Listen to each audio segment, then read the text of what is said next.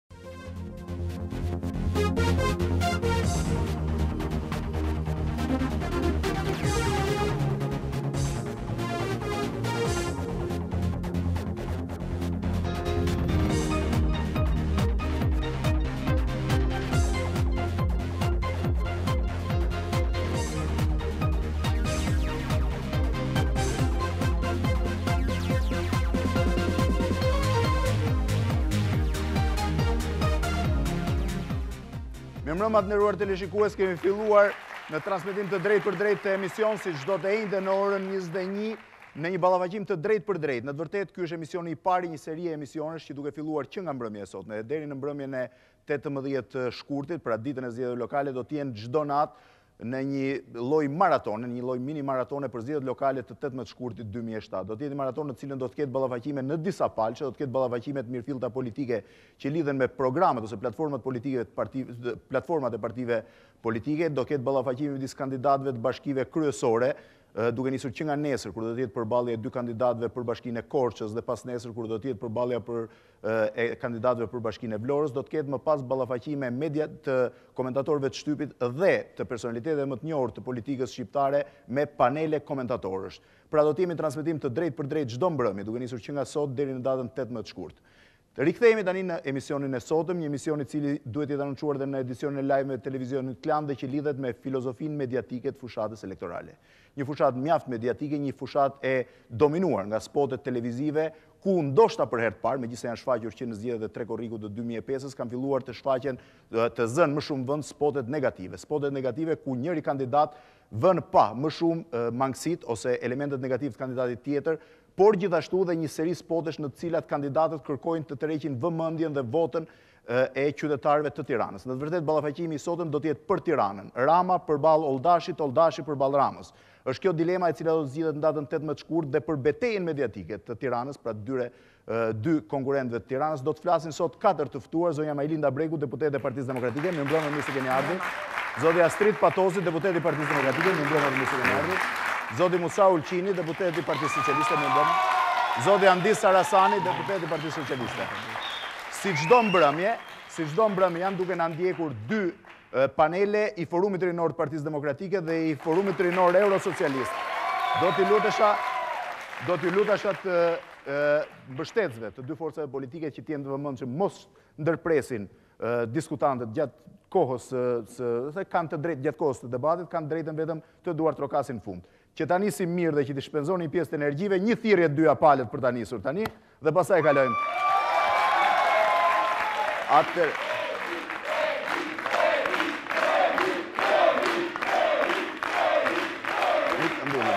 Atëherë, të nderuar teleshikues, klima do jetë gjithsesi besoj e ndezur gjatë këtij debati. Në vijim debatit, unë kam zgjedhur 4 spote. Dy spote të kandidatit Edi Rama në të cilën njëri prej cilëve është një spot negativ kundër konkurrentit të tij dhe një spot pozitiv, pra i Edi Ramës, nga ana tjetër kam zgjedhur dy spote, në fakt janë palët që i kanë zgjedhur, janë vetë përfaqësuesit e stafeve që i kanë zgjedhur, dy spote të Sokol Olldashit, një spot negativ ndaj konkurrentit të tij Edi Rama dhe një spot pozitiv. Do të vendosim më pas, pra menjëherë mbas pyetjes së parë spotet dhe do të fillojmë ta vazhdojmë analizën ose këtë debat mbi bazën e këtyre spoteve. Por po i kthehem dhe njëherë një pyetje që është e përbashkët për katër të ftuarit. Zoti Patozi, cila është filozofia mediatike që Partia Demokratike ka ngritur në Tiranë këtë herë? Po përqendrohemi te Tirana, do doja që të jemi vetëm këtë debat. Filozofia mediatike më duket pak fjalë e madhe. Unë unë do thoja që të dy kampet politike, të dy kampet kryesore apo të dy partitë më të mëdha kanë si kanë një filozofi të tyre elektorale, e cila mishërohet edhe në këto zgjedhje, dhe sigurisht që ka si synim fitoren në bashki apo në komuna dhe fitoren më të madhe në në rang vendi. Në këtë në këtë filozofi elektorale është një element është edhe elementi mediatik. Dhe unë them që të paktën për për për koalicionin e djathtë, unë them që Mbulimi mediatik është një pjesë, një element përbërës i filozofisë tonë elektorale, por nuk është ai që dominanti. Është ai ndjek filozofinë tonë. Unë kam zgjedhur këtë pikë prandaj. Ajo që unë do thoja për këtë për këtë fushatë, për fushatën tonë, pra është ne kemi zgjedhur komunikimin e drejtpërdrejtë me njerëzit. Kjo është filozofia jonë. Ne u themi njerëzve vazhdojmë së bashku dhe u themi duke i takuar, duke u shkuar aty ku ata janë, aty ku ata jetojnë, duke i shkuar me kandidatin, me kryeministrin, me me deputetin, Me me ministrin, me këdo tjetër, me të gjitha figurat, pra, sigurisht që në në epiqendër janë kandidatët, kandidatët për pushtetin vendor. Por kjo është filozofia jonë. Ne u themi atyre, nuk kemi fare problem që të ballafaqohemi me qytetarët në rrugë, në sheshe, në salla të mbyllura dhe kudo gjetkë.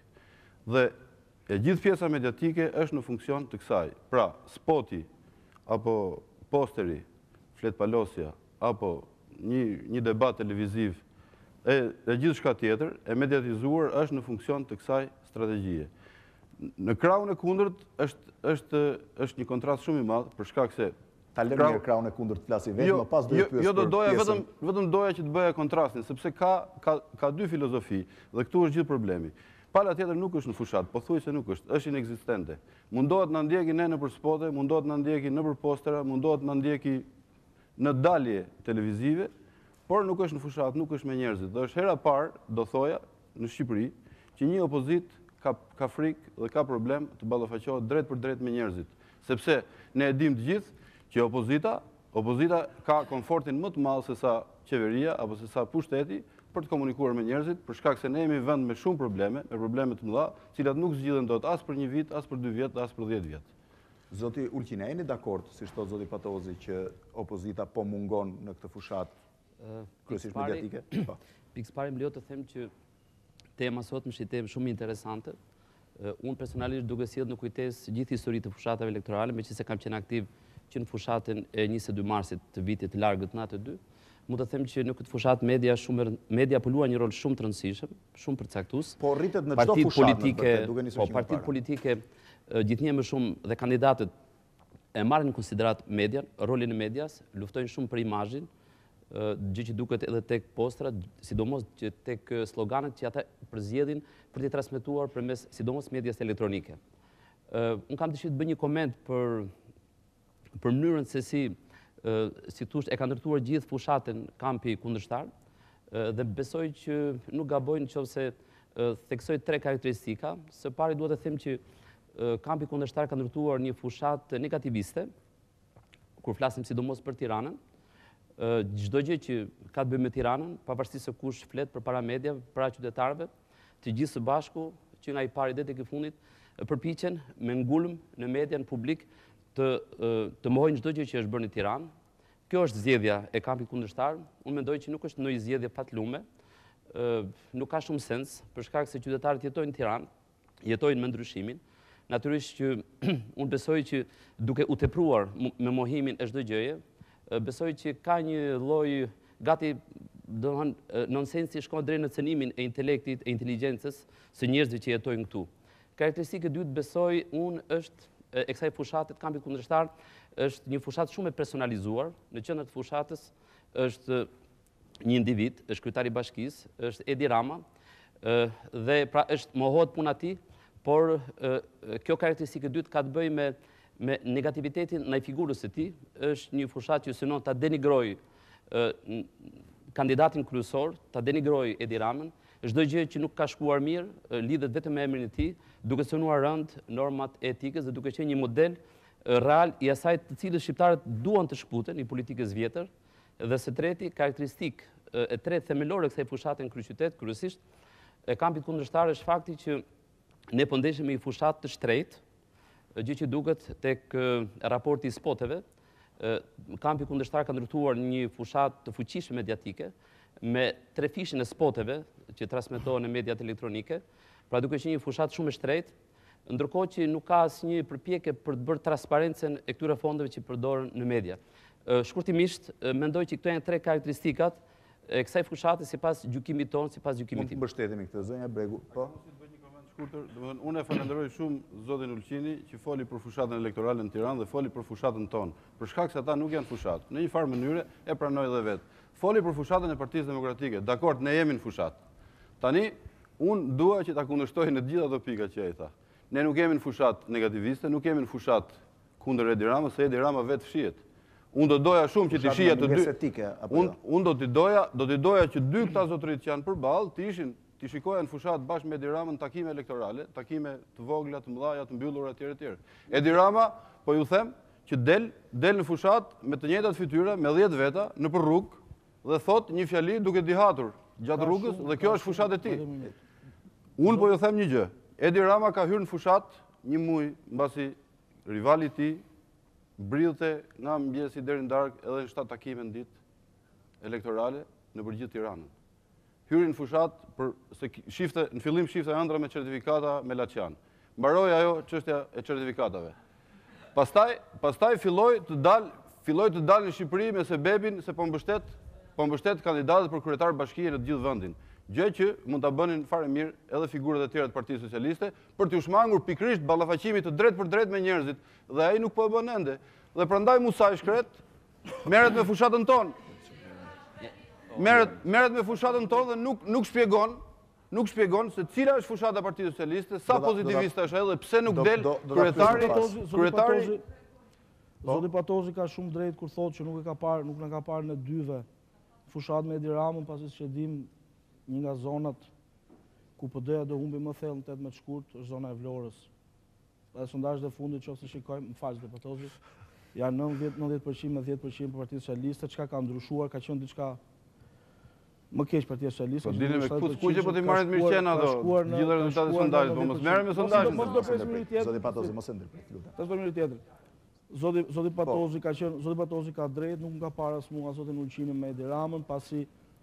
Në Vlorë, siç e dimë, ka mungesë energjie rreth tetëmbëdhjetë orë dhe nuk ka pasur mundësi të ndjekë shtypin. Kur filloi të flasë në fillim për fushatën, zoti Patozi m'u duk që po fliste për fushatën e PS-së. Një fushatë e cila, nga momenti që ka startuar, nuk mund të fillonte një muaj përpara, pasi nuk mund të bridhshim me makina ministrore, duke pasur postin e ministrit, duke pasur postin e deputetit, të bridhshim të bënim, të bridhshim nëpër takime të ndryshme. Nga momenti që kjo fushatë ka filluar, nga momenti që u firmos marrëveshja e famshme, e cila u mbajt peng për ëndrra dhe për takime të fshehta të kryeministrit tonë aktual. Nga ky moment fushata ka filluar, shtatë takime, nëse zoti Olldashi bën shtatë takime në ditë, unë habitem sepse kisha idenë që duhet bënte shumë më shumë. Jemi në, jemi në të cilët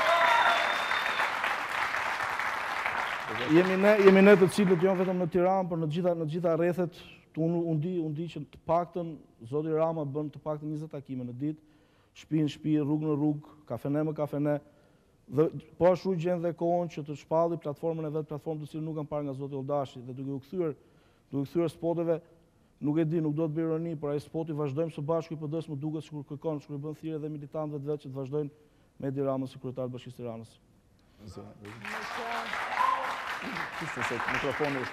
Meqë më erdhi radha domethënë për të folur, e para dua të them që fushata e Partisë Demokratike ndaj kandidatit të vetmuar të një opozite në Tiranë, sigurisht nuk mund të jetë aq denigruese se sa e ka denigruar veten Edi Rama.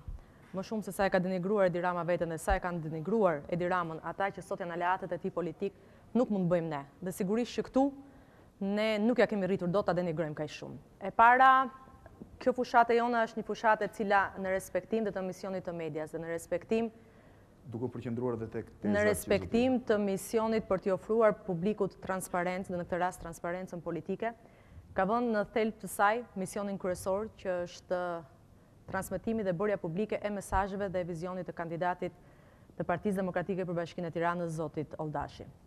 Për sa i përket faktit nëse lëvizja jonë nëpër Tiranë ka filluar një muaj më parë dhe arsyet dihen, me makina ministrore apo jo, në kishte një njeri i cili shfrytëzoi postin e ministrit dhe nuk e dha dorëheqjen asnjëherë dhe kur mori bashkinë ishte Edi Rama. Nuk ishte Sokol Olldashi dhe po flasim për kandidatët kryesorë, po flasim për kandidatët kryesorë. Derisa, përderisa është fushata dhe përballja midis Edvin Ramës dhe Sokol Olldashit, Pikët sigurisht plus i ka Sokol Olldashi, për faktin e thjeshtë edhe për atë arsye që përmendët ju, sepse nuk hezitoi që në momentin e parë që të hiqte dorë nga dy pushtete të cilat nuk ishin pak, pushteti i ministrit dhe i deputetit, për t'u përfshirë, për t'u përfshirë në fushatë, për t'u përfshirë në fushatë si i barabartë. Unë di të të them procedurën e cila ka kaluar në Parlament është paraqitur dorëheqja dhe të gjitha. Dhe sigurisht që tashmë ky është një fakt. Ju mund t'i gjeni, ju mund t'i gjeni kërkesën tashmë të paraqitur në Parlament. Ju mund t'i gjeni bishta dhe të kërkoni t'i shtoni çështjes çdo gjë. Një gjë është e vërtetë, që për sa i përket pjesës së spoteve apo të asaj që ju e quani si atmosferë negativizmi në fushatë, për mua personalisht dhe them që nuk është mendimi im, sepse është një mendim i cili transmetohet nga të gjithë ata që merren sot me politikë dhe kanë pak njohuri nga media në të gjithë botën, Që pikat e dobëta të kundërshtarit nuk kanë pse të mos shfrytëzohen dhe të mos jenë të përdoren si pika të forta apo për të nxjerrë në pah pikat e forta të kandidatit kundërshtar. Pika të dobëta dhe fill këputur Edi Rama ka mjaft ku të kapesh, kështu që nuk është problemi ynë ky. Të këpush spotet ta ndezin deri këtu. Me dëshirë ta falenderoj edhe unë zotin Patosi, jo për të qenë kështu I barasvlershëm në falenderime, për shkak se zoti Patosi shtroi një pyetje, tha PS-ja dhe Edi Rama nuk po bëjnë fushatë në Tiranë, unë mendoj që thjesht dha një argument në favor të asaj që unë thashë që gjithë fushata e kampit kundërshtar është ndërtuar mbi bazën e mohimit, sa kohë që thuhet që Edi Rama nuk ka bërë asgjë në Tiranë dhe ne të gjithë i shohim ndryshimet, ka të drejtë të thuhet që Edi Rama nuk bën as fushatë, pra është në sinkron me gjithë strategjinë e tyre të komunikimit me publikun. Ku është Musa Ulqini? Musa Ulqini është bashkë me ekipin e socialistëve të kryeqytetit, vullnetarëve që janë bashkuar me ne në fushatë, për të punuar në 400 qendrat e votimit, në mënyrë që të ndërtojmë një ekip komisionerësh që të jenë të aftë profesionalisht për të parandaluar, për të respektuar ligjin, për të bërë një fushatë qytetare dhe për të parandaluar çfarëdolloj ëndrre që mund të shikojnë kundërshtarët tanë që suksesin e tyre ta bazojnë tek manipulimet. Manipulimet, unë besoj që Përvoja e socialistëve dhe e imja konkretisht, pa qenë modest, është e tillë që ne, domethënë, do ndërtojmë një fushatë që jep siguri, që jep siguri të madhe që në Tiranë socialistët do sillen në komisione, do sillen konform ligjit, konform etikës dhe do të garantojnë fitoren, pra do të garantojnë numërimin e saktë të votave dhe dua të përcjell një mesazh për qytetarët e Tiranës që na takojnë në rrugë dhe na thonë që ju jeni të fituar, po kujdes manipulimet, Unë jam në këtë kamp për të garantuar votën e lirë të qytetarëve. Unë nuk dukem, po shpresoj që unë dhe ekipi im do duket me datën në 18 në darkë dhe në 19 kur të numërohen votat. Po? Tani, unë do i thoja, do i thoja Musait që unë nuk, nuk e kisha për atë vetë dhe as për Andis Harasanin. atë problemin, se nuk i ka marrë malli qytetarët e Tiranës për ne që jemi këtu, po qytetarët e Tiranës duan të shohin kandidatin. Duan të shohin kandidatin të cilin fatkeqësisht e kanë ende kryetar bashkie, kandidatin e tyre. Dhe nuk e shikojnë, sepse ai del vetëm rrugicave me, me të njëjtën shpurë njerëzve dhe vetëm u flet njerëzve dhe nuk bën takime. Dhe unë këtë thashë, pse kandidati mungon, po nuk mungon vetëm këtu dhe meqë zoti Harasani e përmendi, mungon në Vlorë, mungon në Vlorë, mungon në Durrës, mungon në Sarandë. Mungon në Elbasan, mungon kudo. Dhe ky është një problem shumë i madh. Dakord, e di, e di që në Tiranë, në Tiranë nuk ka çat çat thot ai. Dhe ka shumë probleme, ka se i përmendin njerëzit që na ke premtuar kinema dhe nuk është kinemaja. Na ke premtuar ujin dhe nuk është uji. Na ke thënë para para 4 vjetësh që që do çlirosh rrugët edhe do bësh parqe dhe ke zënë edhe ato rrugët që janë me pallatet e dashpezës. Dhe këto janë këto janë probleme që unë unë e mirëkuptoj. Që ai ka shumë, e ka shumë problem këtë punë. Po, po aty ku qeverisim ne, pse nuk bëjmë fushatë këta? Qeverisim ne në Shkodër. Këta s'dalin as në Kavajë, as në Shkodër, aty ku ne qeverisim. Ku, ku mund të kenë, ku, ku mund ta kenë më të lehtë me u ballafaqu me njerëzit. Po nuk e bëjnë as atje. Sigurisht që nuk e bëjnë as në Sarandë, ku, ku ne qeverisim. Dhe ky është një realitet sepse unë për shkak të punës, për shkak të angazhimeve të mia, kam pasur fatin që ta prek me dorë në gjithë Shqipërinë këtë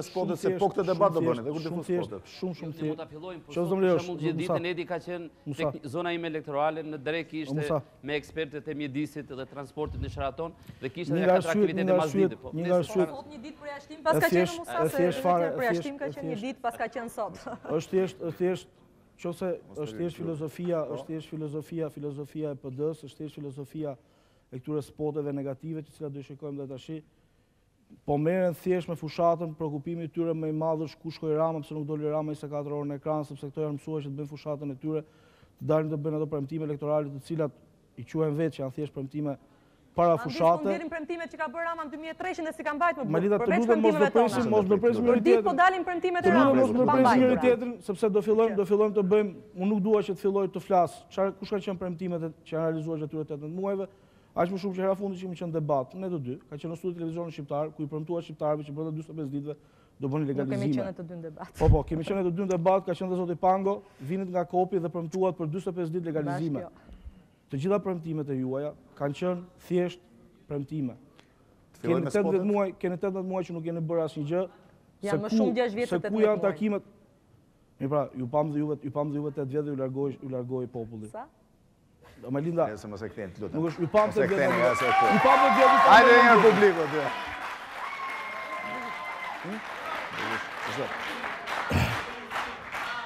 Vazhdo. Zoti Rama. Zoti Rama, Zoti Rama dhe gjithë, Zoti Rama dhe gjithë Partia Socialiste janë dhe në Shkodër dhe në Kavajë dhe unë e kuptoj, unë e kuptoj pse miku im, miku im Zoti Patozi përmend Shkodrën dhe Kavajën, pikërisht sepse për një arsye shumë të thjeshtë, sepse Shkodra dhe Kavaja do jenë Qytetet që do i djegin më shumë Partisë Demokratike në datën 18 shkurt. Atëherë kthehemi. Nëse po vazhdon të mbaron se bën replika me vetëm një përgjigje për Vlorën. Më ka takuar që këto ditë të jem më shumë në Vlorë, meqë e përmende Vlorën. Edhe po të them vetëm një fakt, për ta kuptuar se cila është fushata dhe ku është kontrasti mes mes dy dy kampeve. Për 5 ditë rresht Hapja e fushatës elektorale në Vlorë, ku merrte pjesë edhe zoti Edi Rama dhe fliste edhe kandidati Shpëtim Gjika, është dhënë në të gjitha televizionet lokale si kundërpeshë e takimeve që bënte kandidati ynë edhe që bënim ne në Vlorë. Takimet ishin për referendumin e Sepse kandidati rival nuk kishte asnjë takim dhe jepej e njëjta, më falni. O zotëri, Vlora e njeh mirë Shpëtim Gjikën. A ka mundësi tani? Vlora e njeh mirë Shpëtim Gjikën. I jepej, i jepej e njëjta pamje. I jep, i jepej për 5 ditë rresht hapja e fushatës se nuk kishte aktivitet tjetër. Dhe fakt më domethënës sesa ky nuk ka. Zoti Gjika dhe zoti Alimerko do jenë në studio të shtunën në mbrëmje në një ballafaqim që shpresoj të jetë mjaft interesant. Sigurisht do jetë. Atëherë regjia të bëjë gati spotin e parë, është një spot i shpërndarë nga stafi elektoral i kandidatit të Partisë Socialiste zotit Edi Rama, është spot negativist për konkurrentin e tij, zotin Olldashi.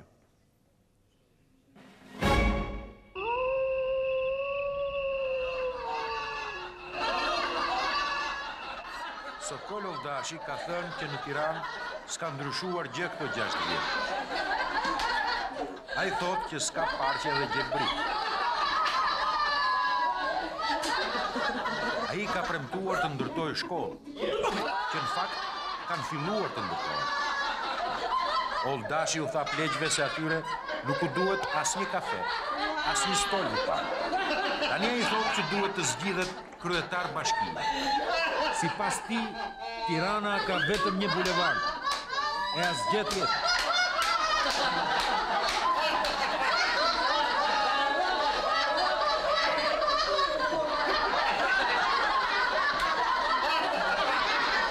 E për më tepër, ai thotë që Edi Rama nuk bën për kryetar bashkie.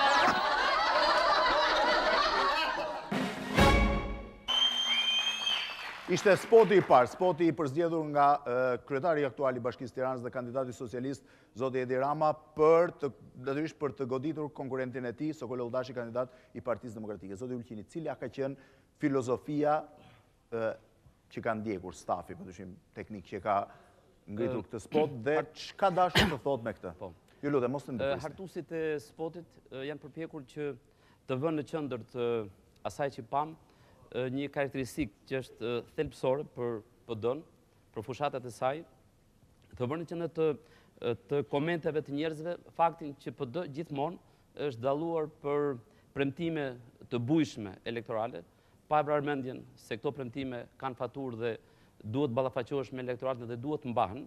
Kjo është karakteristika e gjithë fushatave elektorale të PD-s Dhe ky spot synon që t'u thotë qytetarëve, t'u sjellë në kujtesë qytetarëve këtë element negativ të sjelljes elektorale të Partisë Demokratike dhe të liderit të saj, zotit Berisha, dhe me shumë elegancë, pa fyerje, spoti vë në qendër këtë defekt të Partisë Demokratike dhe të fushatave të saj. Pra premtime të pambajtura, thotë. Mund të sjell një shembull ose një rast ose një, si të thuash, hartuesit e spotit i kanë ndihmuar sidomos komenti brilant i zotit Berisha, në takimin e komentuar kaq shumë edhe nga media, kur ai tha, kur dikush e pyeti se se si ndjehej ai në raport me gjithë atë sulm që ishte bërë ndaj liderit të Partisë Socialiste në prag të zgjedhjeve të 3 korrikut dhe zoti Berisha tha që shqiptarët duhet të kuptojnë që gjërat që thuhen në fushatë nuk duhet të merren seriozisht.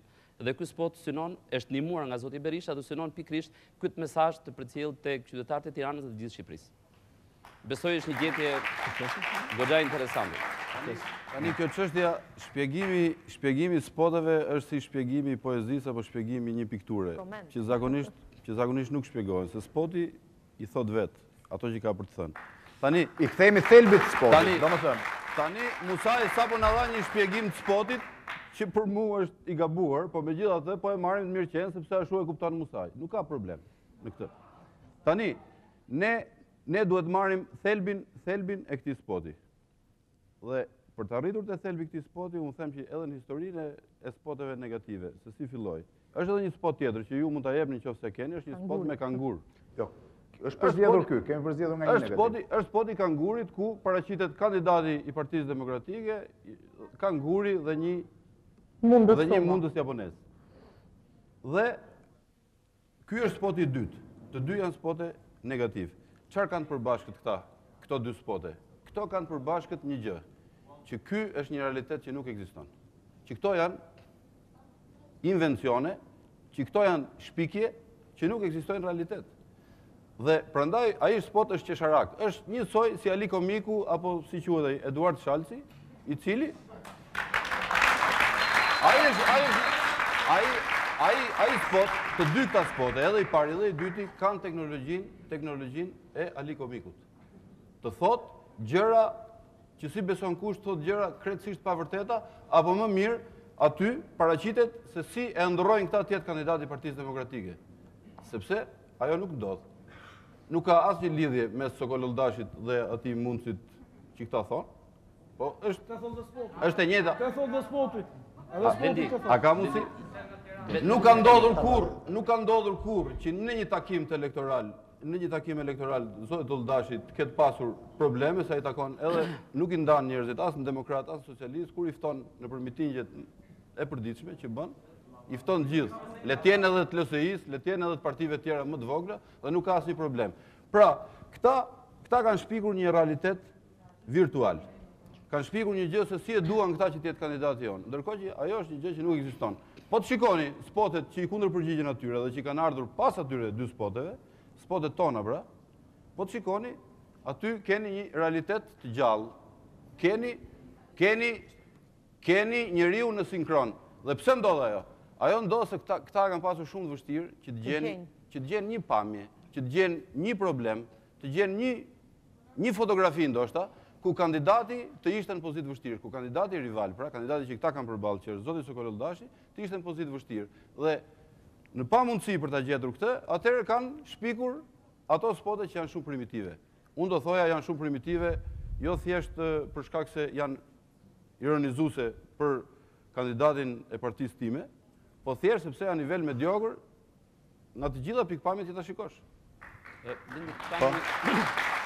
Në favor të në favor të të thelbit, në favor të thelbit të spotit, dhe të asaj që unë komentova, unë kam këtu po sjell një fakt Unë kam këtu gazetën RD të datës 24 prill të vitit 2005, ku janë, është, janë gjithë premtimet elektorale të zotit Berisha dhe një nga premtimet e bujshme ishte që së paku thotë Partia Demokratike do të angazhohet që të ndërtojë 5000 apartamente banimi në vit për qytetarët e Republikës së Shqipërisë.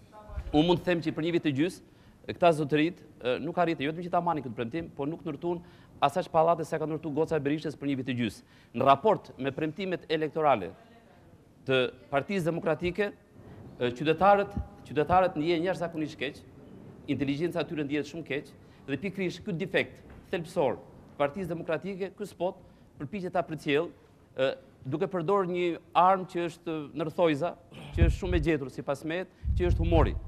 Pra, ne me këtë gjë që është shumë tragjike për shqiptarët, përpiqemi të ndahemi me këtë politikë të vjetër premtimesh, duke qeshur. Kam frikë që... Po respektoj duartrokitjet. Kam frikë që fabula e këtij spotit me qeshur, sikurse fabula e kangurit, është kaq e pakuptueshme sa edhe Musait iu desh ta lexojë shpjegimin.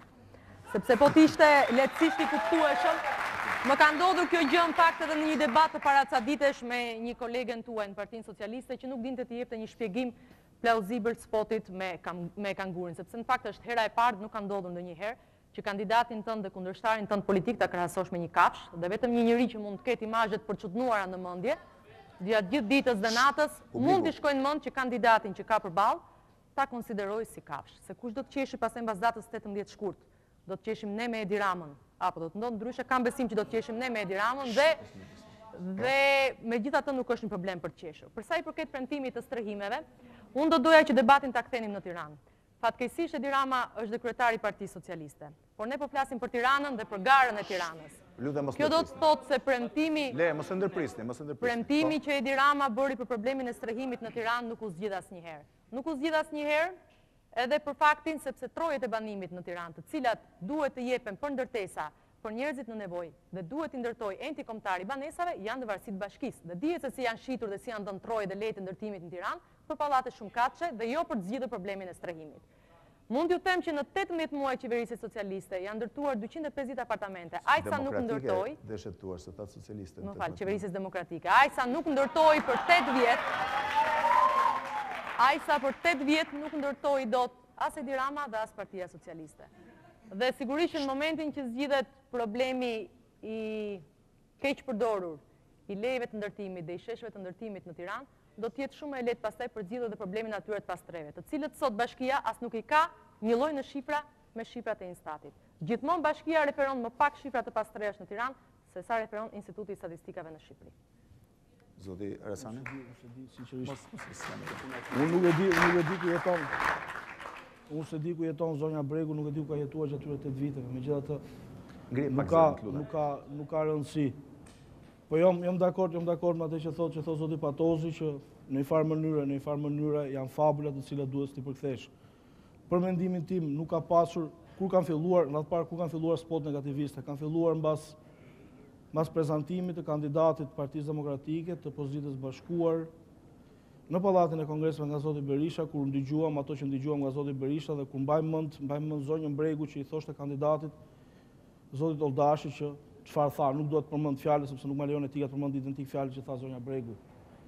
Në një debat jemi dhe mund t'i themi fjalët. Jo, nuk nuk lejon, kjo është kjo është pikërisht, kjo është pikërisht më Kjo është pikërisht diferenca, kjo është pikërisht diferenca sepse ne dalim para qytetarëve, sepse ne qytetarëve i kërkojmë i kërkojmë votën sepse thjesht duam të shkëputemi nga ajo politikë e vjetër, nga ajo politikë e cila personalizon çdo gjë.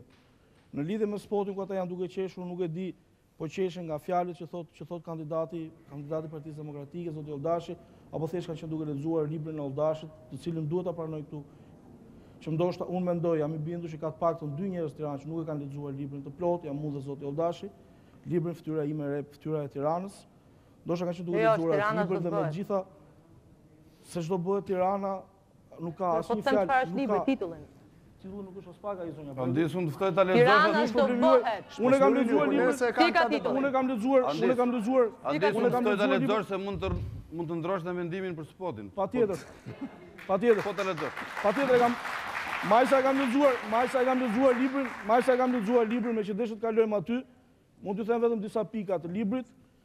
Ka premtime pa fund për shtëpi sociale dhe në buxhetin bashkangjitur nuk ka asnjë fond. Ju jeni mësuar të bëni premtimet pa një faturë. Në faqen tridhjetë e pesë, më fal zotëri, më fal, më fal zotëri që s'do të dish librin. Atëherë zoti Patozi, të flasim në faqe, në faqe tridhjetë e pesë premton kopshte fëmijësh, ashtu siç premtoi atë kinemanë që referohet dhe nuk e dinë që kopshtet e fëmijëve varen nga Ministria e Arsimit, ashtu siç ajo kinema varet nga Ministria e Ekonomisë. Investimet publike në këtë libër konsiderohen si shpenzime administrate, ndaj dhe ka një rritje shpenzimeve jo kapitale. Mbështet buxhetin dhe thotë do rrisim taksën e ndërtimit, duke mos i thënë shqiptarëve se sa do jetë ajo taksë që do paguajmë për familjet e tyre të gjithë tiranasit, taksë e cila është ulur 30% nga bashkia Me zotin Rama, merr përsipër detyrat, detyrat e qeverisë qendrore, çka tregon që zoti Olldashi nuk e di se ç'do të thotë të jesh kryebashkiak i Tiranës.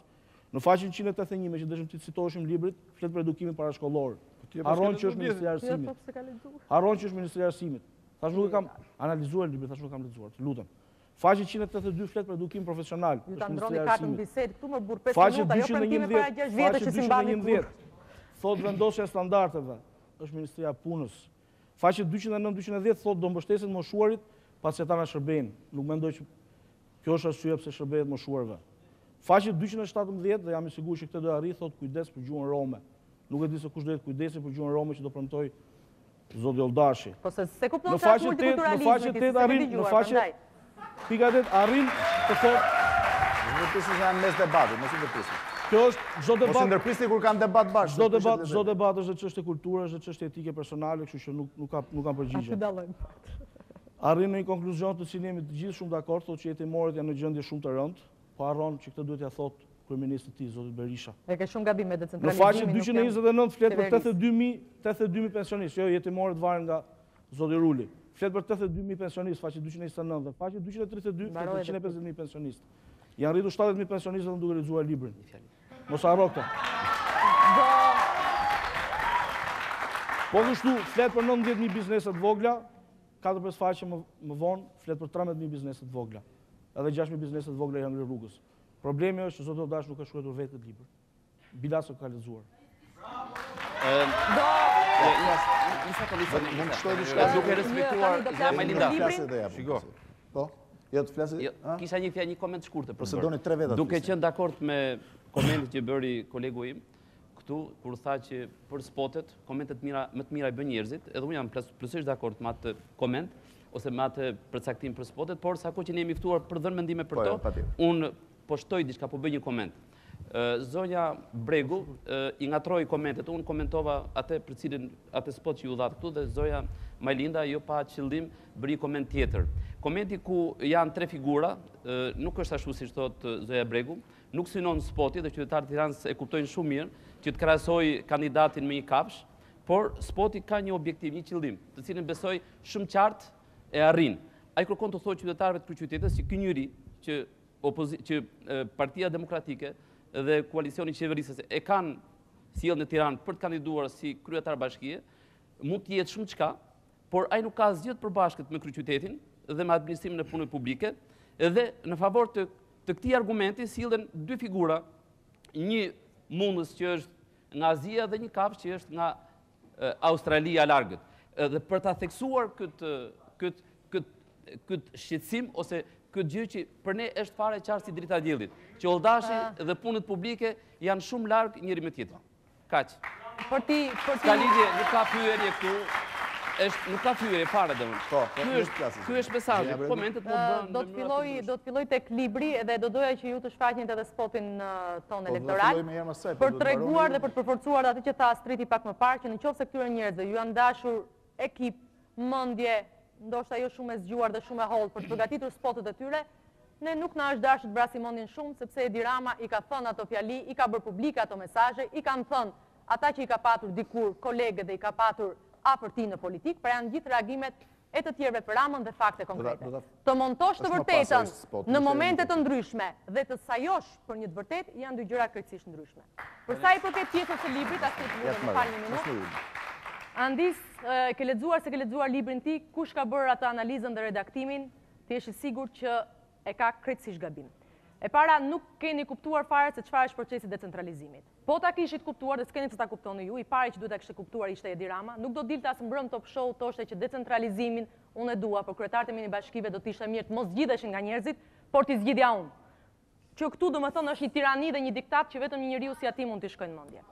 Për sa i përket çështjeve të jetimores, për sa i përket, jo jo, kjo është fjala e thënë direkt. Jo jo, po them për librin.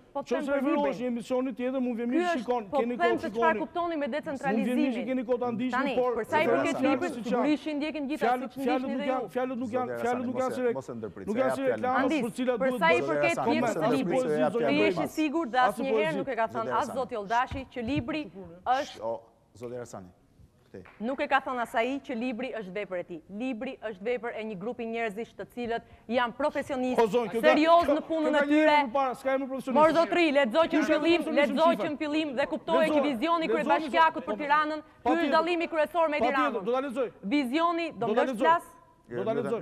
Vizioni i Sokol Olldashit për Tiranën nuk është vizioni. Ta mbaroj dhe ta jap, o zoti Arsani. Zoti Arsani, ta mbaroj dhe ta jap. Vizioni i Sokol Olldashit për Tiranën, e cila për herë të parë botohet në një libër, nuk është vizioni i një individi ku parametër të vetmin ka egoizmin e tij. Është vizioni i një njeriu që punon me ekip dhe që e ka thirrur ekipin për të realizuar premtimin e tij për të qenë i shkruar në letër premtimi për Tiranën. Nëse shpitë e fëmijës janë apo nuk janë të qeverisë e ke shumë gabim. Ka një strategji të decentralizimit dhe të shërbimit social për cilin ti nuk ke si të jesh në dijeni, ku shtëpitë e fëmijës dhe të gjitha institucionet e shërbimit social decentralizohen dhe kalojnë në varësi të bashkive. Është një strategji të cilën e ka patur dhe Edi Rama dhe s'e ka bërë asnjëherë. O zonjë? O zonjë e kalon parlamenti, ku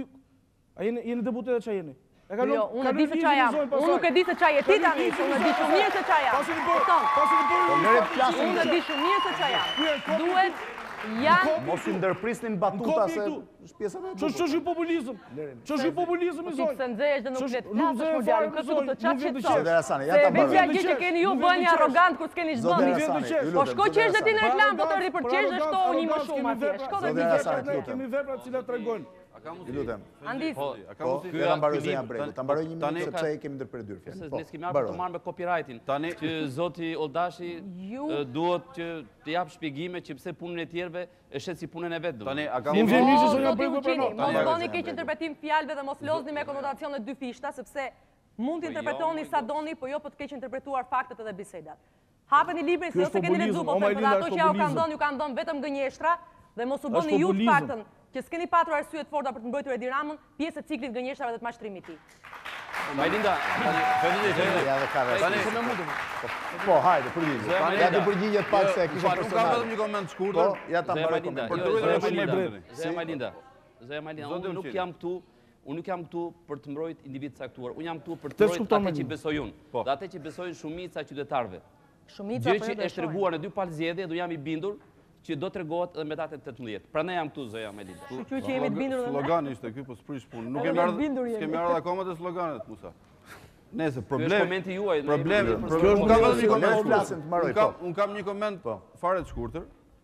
Që mua më vjen shumë mirë që të dy zotërit përballë nuk e kanë lexuar atë libër, për shkaqet e tyre. O zotëri, unë sa të tregova, unë sa të tregova që kam mos e ndërprit tani se vetë që kam lexuar unë zoti Olldashi. Unë thash, ka të paktën dy persona, të cilët nuk kanë lexuar librin. Por, ndërprit. Por mua më vjen mirë që kampi i tyre, kampi i tyre ka filluar ta konspektojë atë, sepse e konsideron si program që do do ta po do merret gjatë me të. Do merret të paktën 4 vjet. Kjo është gjë shumë e mirë se e konsiderojnë kryetar bashkie atë. Dhe këtu mbyllet historia. Tani, tani ka ka dhe një problem, ka dhe një problem tjetër. Mirëpo, zoti Harasani nuk mund t'i kërkojë tani kandidatit tonë, kryetarit të ardhshëm të bashkisë Tiranës, që të realizojë ato që ai sapo i ka shkruar dhe sapo i ka nxjerrë në qarkullim për njerëzit, sigurisht për qytetarët e Tiranës.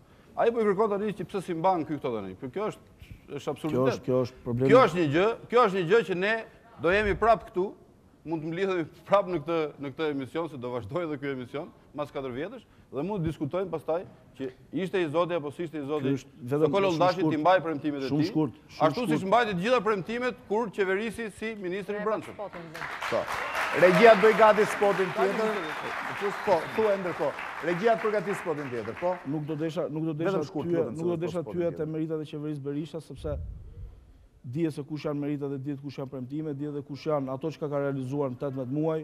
Çdo shqiptar e di vetë si po jeton sot, si ka jetuar para tetëmbëdhjetë muajve. Në qoftë se mirëqenia shikohet nga rrobat që vishet vesh X-i ose Y-i, atëherë kjo është një temë që nuk doja të hyja. Hapet debat dhe këtu. Në lidhje me premtimet, në lidhje me premtimet e këtij libri, Unë jam i sigurt që nuk do realizohen pasi zoti Olldashi nuk do të ketë mundësinë të fitojë. Kjo është dhe arsyeja që kryeministri aktual nuk ka firmosur nuk ka firmosur, nuk ka firmosur mandatin dhe nuk ka emëruar ministrin e ri, thjesht sepse po i mban vendin në qeveri zotit Olldashi. Tani, tani a ka mundësi se se shpërqendrimi, shpërqendrimi, shpërqendrimi i debatit nga tema për cilën ne ne jemi mbledhur jo, sot. Jo, jo, më fal. Do futesh kot. Jo, jo, nuk është në meritë, po nëse ai don, nëse Harasani dhe zoti Ulqini duan që të flasin për qeverisjen, unë jam gati të flasim për NATO-n. Nuk e ke, ajo është pjesë e sigurisht. Ne luajmë, ne luajmë jemi për NATO-n, për çfarë të flasim? Ne luajmë fushën tonë dhe ne nuk e mohojmë faktin që në këto zgjedhje, në këto zgjedhje ne shkojmë ballëhapur te çdo zgjedhës dhe i themi Vazhdojmë bashkë se ne qeverisim këtu, që nga 3 korriku e deri këtej. Dhe prandaj e kemi të sigurt fitoren. Atëherë regjia spotin negativ të Sokol Olldashit për konkurrentin e tij Edi Rama. Don Qetsi. Pallatet e Tiranës janë bërë më të shtrenjta nga sekserët e bashkisë. Ndërsa Edi Rama betohet për ndershmëri. Nuk ka asnjë burrë nëne dhe asnjë bir kurve që të vijë dhe të më kërkojë mua në xhep lekët e veta. Bashkia e Tiranës, gjë e parë, më kërkon një milion dollarë. Aleatët e tij politikë e kanë akuzuar për korrupsion. Si një makiavelist, e konvertoi nga një anëtar një votë në një pallat, një votë. Ne jemi njerëz të ndershëm dhe nuk jemi kopukë politikë. Por e nxorra nga batak i fyerjeve. Dhe shitës ikonash të vjedhura. Unë jam hajduti numër një i Shqipërisë. Faleminderit që e pranove vetë. Tirana nuk meriton të paguajë më për këta njerëz. Ishte ky spot, ishte ky spot i konkurrentit të Partisë Demokratike Sokol Olldashi, një spot negativ për konkurrentin e tij kryetarin e bashkisë dhe kryetarin e Partisë Socialiste Edi Rama. Përpara se të fillojmë për të diskutuar mbi filozofinë e këtij spoti, së mënyrës si është krijuar ky spot, kalojmë një herë në pak minuta, pak sekonda, në fakt në spotet publicitare dhe rikthehemi përsëri në transmetim drejtpërdrejt. Jemi rikthyer sërish në transmetim të drejtpërdrejtë në këtë debat mbi filozofinë mediatike të fushatës elektorale në Tiranë mbi ballafaqimin e spoteve publicitare, spoteve negative dhe pozitive që kandidatët kanë filluar të transmitojnë në kanale televizive në konkurrencë me njëri-tjetrin. Kemi ndjekur dhe spotin e parë negativ të konkurrentit të Partisë Socialiste, ose të koalicionit të majtë zotit Edi Rama, një spot negativ për konkurrentin e tij Olldashi. Kemi ndjekur në fillim të këtij përpara spoteve publicitare dhe spotin e kandidatit Olldashi, spotin negativ, ndaj konkurrentit të tij Edi Rama, dhe rikthehemi tani për të diskutuar mbi filozofinë e këtij spoti. Zoti Patozi. Atëherë sikurse ju lutem publiku. Po. Sikurse u pa dhe sikurse e kanë parë të gjithë, besoj, qytetarët e Tiranës, sepse këto janë spote që jepen periodikisht, kemi reality show. Thjesht dhe vetëm. Kemi asnjë shtesë, siç Edi Rama, siç ka qenë, siç është dhe siç do bëhet. Ai është kryetari i bashkisë që ne kemi sot dhe që s'do ta kemi më nesër. Për ato arsye. Duar drogis një njerë tani, ajë që të bjene. Tani, tani qetësi, tani.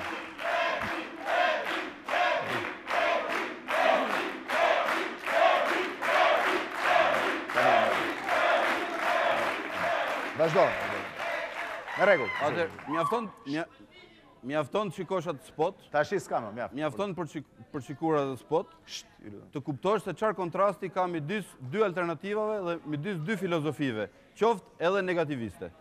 Pra kemi nga njëra palë kemi një shpikje që nuk ekziston, një realitet virtual dhe nga ana tjetër kemi vetëm pamje live, pamje sinkron ku paraqitet kandidati i Partisë Socialiste. Për të qenë Korrekt, ne duhet të themi që ka dhe një spot tjetër, ka dhe një spot tjetër që nuk transmetohet aty, po gjithë të gjithë telespektatorët besoj e kanë parasysh, është është një spot ku paraqitet kryetari i Bashkisë së Tiranës me sopatë në dorë. Pastaj pastaj pastaj pastaj pastaj që sokëllin sokëllin sheshin Skënderbej, Me një dizekuilibër, dizekuilibër, dizekuilibër që... Po, vazhdo fërë se është mikrofon. Me një dizekuilibër që nuk është nevoja që ne ta theksojmë, sepse është evident, pastaj që i kërcënohet një gazetareje, e kështu me radhë. Domethënë, ky është kryetari i bashkisë që ne për fat të keq kemi sot.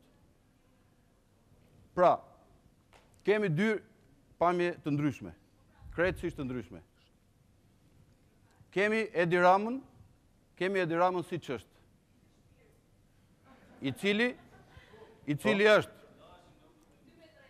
njeriu që përdor lutem tani. I cili është njeriu që përdor sopatën në qoftë se do ta lënë ta përdorë. Sa herë ta lënë ta përdorë? Njeriu Që përdhunon qytetin, sa herë ta lënë ta përdhunojë.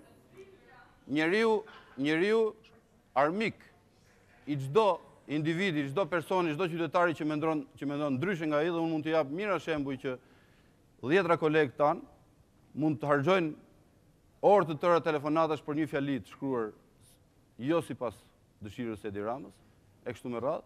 Kemi Edi Ramën Kemi Edi Ramën e korruptuar, simbolin e korrupsionit të asaj qeverisje që ne hoqëm me votë më tre korrik, edhe të kësaj që vazhdon për fat keq për inerci. Kemi Blendi Gonxhën aty. Blendi Gonxha ku është? Ku është Blendi Gonxha? Ku është Dash Peza? Për të bërë atë spot, ne nuk kemi vuajtur shumë, Stafi që është marrë me spotin ka pasur në dispozicion orë të tëra filmike për të nxjerrë dy apo tre minuta sa që janë të dy spotet bashkë. Që do të thotë, në atë spot mungon edhe zoti Arasani për rezervat që ai ka pasur publike, që ai ka pasur ndaj kryetarit, ndaj ndaj kryetarit aktual të partisë së tij. Mungon sigurisht zoti Petro Koçi, sepse edhe zoti Petro Koçi Ka qenë i linjës një votë një pallat, ashtu siç del Ilir Meta në atë spot. Aty është është Fatos Nano, është Ilir Meta dhe janë të gjithë të gjithë njerëzit me të cilët sot Edi Rama dhe koalicioni i tyre po mburret se janë bashkë, janë në sinkron duke thënë konsideratat e tyre për kryetarin e Bashkisë të Tiranës. Pra, mjafton të shikosh atë spot, Dhe nuk ka asnjë ndërhyrje. Dhe unë nuk e di ça mund t'i bësh më shumë një kundërshtari. Unë e konsideroj përkëdhelje. Që një kundërshtari thjesht t'i marrësh pohojnë me gojën e tyre. T'i marrësh shokët e vet, bashk bashkëpunëtorët e vet, njerëzit me të cilët ulëret mitingjeve dhe t'i thuash ja kush është mendimi i tyre për për ty. Dhe mendoj mendoj që mjafton ai spot Mjafton ai spot që beteja e Tiranës të jetë e përfunduar, sepse Edi Rama nuk është provuar kurrë me votë në këtë qytet. Është hera e parë, është ballafaqimi i parë që ai do të do të përballet me votën e lirë, me votën e lirë dhe të ndershme. Dhe ju do ta shikoni se cili do të jetë përfundimi. Sepse është fyrje, është fyrje, është fyrje shumë e madhe, është fyrje shumë e madhe për çdo intelektual, për çdo biznesmen, për çdo qytetar, sado të pashkolluar që të jetë, sado Sado i paangazhuar politikisht që të jetë, që të ketë kryetar bashkie një njeri që sokëllin ashtu në mes sheshit. Të gjithë qytetarët e Tiranës e duan që të jetë kryetari, është qytetari i parë i kryeqytetit. Duhet të jetë njeri normal, duhet të jetë njeri i përgjegjshëm. Nuk është as normal, as i përgjegjshëm, i super korruptuar. Zoti Fevziu, domethënë, komentet që sapo u bënë, janë, shkojnë gjithmonë atë që unë thashë në fillim, që janë provë, argumente, për të dëshmuar edhe njëherë që kampi kundërshtar ka ndërtuar një fushatë negativiste, duke personalizuar tek kandidati kryesor i joni dhe duke shkelu çdo normë etike. Megjithatë, unë do të bëj një koment për atë që ju transmituat. Në pamjet pa, unë mendoj që kundërshtari jonë e ka llogaritur shumë atë spot. Mendon që do të fitojë shumë pikë.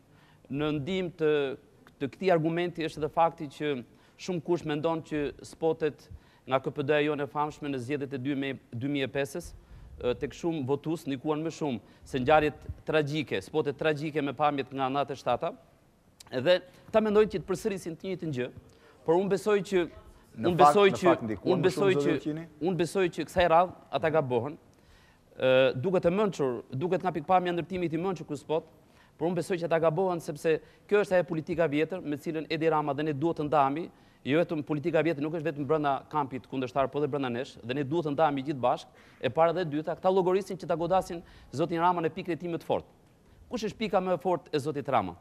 Nga pikëpamja e funksionimit të koalicionit, kontributi i tij në bashkimin e së majtës, askush nuk e mendonte një vit e gjysmë më parë, pas asaj drame që pësoi, pas asaj humbjeje që erdhi për shkakun tonë, jo për meritë të këtyre, nuk e mendonte që e majta do të ishte kaq e bashkuar. Dhe ky është një argument që shkon tërësisht në favor të zotit Rama, është kredo e tij politike, është ai kontributi i tij, Edhe pikërisht kësaj i tremben këta. Sepse në qoftë se flasim me shifra në Tiranë, në vitin dy mijë e pesë, në zgjedhjet e tre korrikut, në Tiranë votat e bashkuara të së djathtës ishin nëntëdhjetë e shtatë mijë, ishin tetëdhjetë e shtatë mijë dhe votat e bashkuara të së majtës ishin dhjetë mijë më shumë. Pikërisht këtij dhjetë mijë votëshi, që tani është një votë e grupuar, i tremben këta dhe përpiqen ta godasin zotin Rama, te kredo e tij politike, te kre, ka patur një, ka qenë gjithmonë në minoritet të plotë. Dhe përpiqen, dhe përpiqen, dhe përpi, mendojnë që kanë gjetur, mendojnë, zoti Fevziu, mendojnë që kanë gjetur uh, argumentin e duhur për të goditur në pikën më të fortë të zotit Rama. Ky është objektivi i tyre. Tek ai që është uh, ky bashkim, ky bashkim i së majtës, që është një nga arsyet që ne na bën të mendojmë që do të jemi fitues me datën tetëmbëdhjetë, dhe përpiqen, dhe përpiqen, që të jenë sinkron me pjesën më të prapambetur të shoqërisë, që ka kënaqësi të madhe, ka kënaqësi të madhe, dhe domethënë ë ushqen jashtë mase, është një pjesë e prapambetur e shoqërisë, sherrnajat e politikanëve, thashethemet, dhe gjithçka jo pozitive që prodhojmë ne, që prodhon media, që prodhon shoqëria jonë. Mendojnë që këta janë sinkron me ta, i bëjnë thirrje kësaj vote të shkojë në favor të PD-së, por mendoj që përsëri edhe kjo do të jetë një bumerang. Dhe kjo është një provë që fushata e tyre po. nuk është ndërtuar mbi bazë alternativash, nuk është nuk është një fushatë që respekton etikën dhe moralin qytetar. Jo, duhet të bëj vetëm një koment të shkurtër. Unë unë e kuptoj e kuptoj dhimbjen që ndjen zoti Ulqini kur përmendet fjala koalicion dhe fjala bashkim.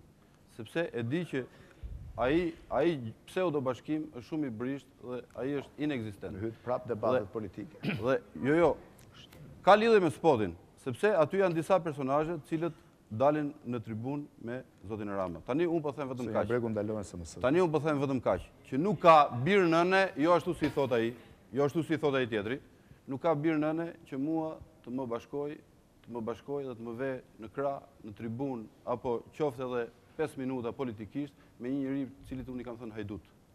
Me një njeri të cilit unë i kam thënë trafikant. Trafikant ikonash. Dhe ka dy mënyra për ta shpjeguar këtë bashkim. Ose ky bashkim nuk ekziston, është i pasinqertë, është hipokrit, ashtu siç rezulton në Patos dhe gjetkë, ose, nëse ekziston, atëherë është një bashkim hajdutësh.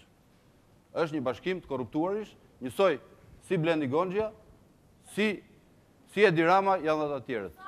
Dhe kaq, se nuk ka Nuk ka rrugë tjetër. Është, është, qëse do... Qëllimisht zoti Ulqini nuk përmend spotin e parë, atë spotin e kryetarit të bashkisë të çekuilibruar atë të kryetarit të bashkisë. Spotin e bashkisë. Unë e fillova, jo, unë e fillova, mas koment e fillova, më fal një minutë. Edhe ai ka rëndësinë e tij. Sigurisht në qendër të spotit është Blendi Gonxhja, ai është simboli. Blendi Gonxhja, i cili me paratë e fituara këtu, Ndërton në Greqi dhe në Spanjë. Ka dhe kompani në Spanjë. Pse nuk vjen Blendi Gonxhja këtu? Pse duhet të jesh nënkryetari i Bashkisë së Tiranës për t'u arratisur? Pse duhet të jesh drejtori i pastrim-gjelbërimit edhe të ndërtosh pallat mund mu aty ku është projektuar të jetë rrugë? Me çfarë? Me çfarë tagri? Sepse Bashkia e Tiranës është kthyer në një qendër, në një çerdhe korrupsioni. O Zef Exhu, po, nuk ka qytetar, nuk ka qytetar, nuk ka qytetar të Tiranës i cili nuk e di se kush ndërtonte pa leje, kush e mbushi, kush e mbushi Tiranën me kioska. Po, megjithatë, megjithatë duke u kthyer te spoti, përsëri t'i referohesh asaj që tha Astriti, që ka një mënyrë të lexuari çdo spoti, dhe ka dhe një konkluzion. Konkluzioni pas spotit është i thjeshtë, unë jam i bindur, Edhe mbas shikoj spotin dhe mbas e ndigjoj qoftë zotin Patozi, qoftë zonjën Bregu që as zoti Patozi, as zonja Bregu nuk do votojnë me datë tetëmbëdhjetë shkurt për Ramën, nuk do votojnë Partinë Socialiste. Por, ajo çka unë kuptoj nga ai spot është që të gjithë ata persona të cilët ishin aty në atë spot. Të gjithë ato persona datë tetëmbëdhjetë shkurt do votojnë për Ramën, do votojnë Partinë Socialiste dhe kjo është ajo çka tremb këta zotërinj. Sepse këta zotërinj Më shumë të pyesim. Po, vazhdo. Këta zotërinj erdhën, këta zotërinj erdhën në datë Në tre korrik, erdhën në pushtet në mënyrë të pamerituar, erdhën duke bërë ato premtime boshe, erdhën duke krijuar ato institucione ku kemi përfaqësues sot nga kopin edhe që nuk i dihet, nuk i dihet akoma ku është gjurma dhe erdhën erdhën në erdhën në pushtet vetëm si votë kundra, erdhën si erdhën për shkak të arrogancës tonë, Duhet ta pranojmë dhe erdhën për shkak të ndarjes, erdhën për shkak të ndarjes sonë. Se kush ka bërë vjedhje, kjo po tregohet. Mjafton të marrim shembull në çdo fushë. Në çdo fushë dhe e kemi e kemi shumë shumë të lehtë, e kemi shumë të lehtë ta provojmë. Se ku është njëri, se ku është tjetri, fund fundit, mënyra se si unë e lexoj këtë, është thjesht çështje etike. Se me kë rri zoti, zoti Patozi 5 minuta, është e drejta e tij, unë do respektoj çdo zgjedhje të tij. Por, unë nuk do rrija asnjë minutë Me një kryetar partie në qoftë se në spotin elektoral Partia Socialiste do kishte vënë fjalët e Berishës për disa nga ministrat që e ka sot në kabinet. Nuk do ja lejoja vetes kurrë. Kjo është thjesht çështje etike, është thjesht çështje e ndarjes nga politika e vjetër, ndaj edhe ne i kërkojmë votën qytetarëve në tetëmbëdhjetë shkurt. Ka ministra, kabinetin e Berishës për të cilin Berisha Ka thënë shumë më shumë se aq, por përsëri është çështje etike, çështje qytetarie, që ne mos i themi ato nëpër spote. Zonja Bregu.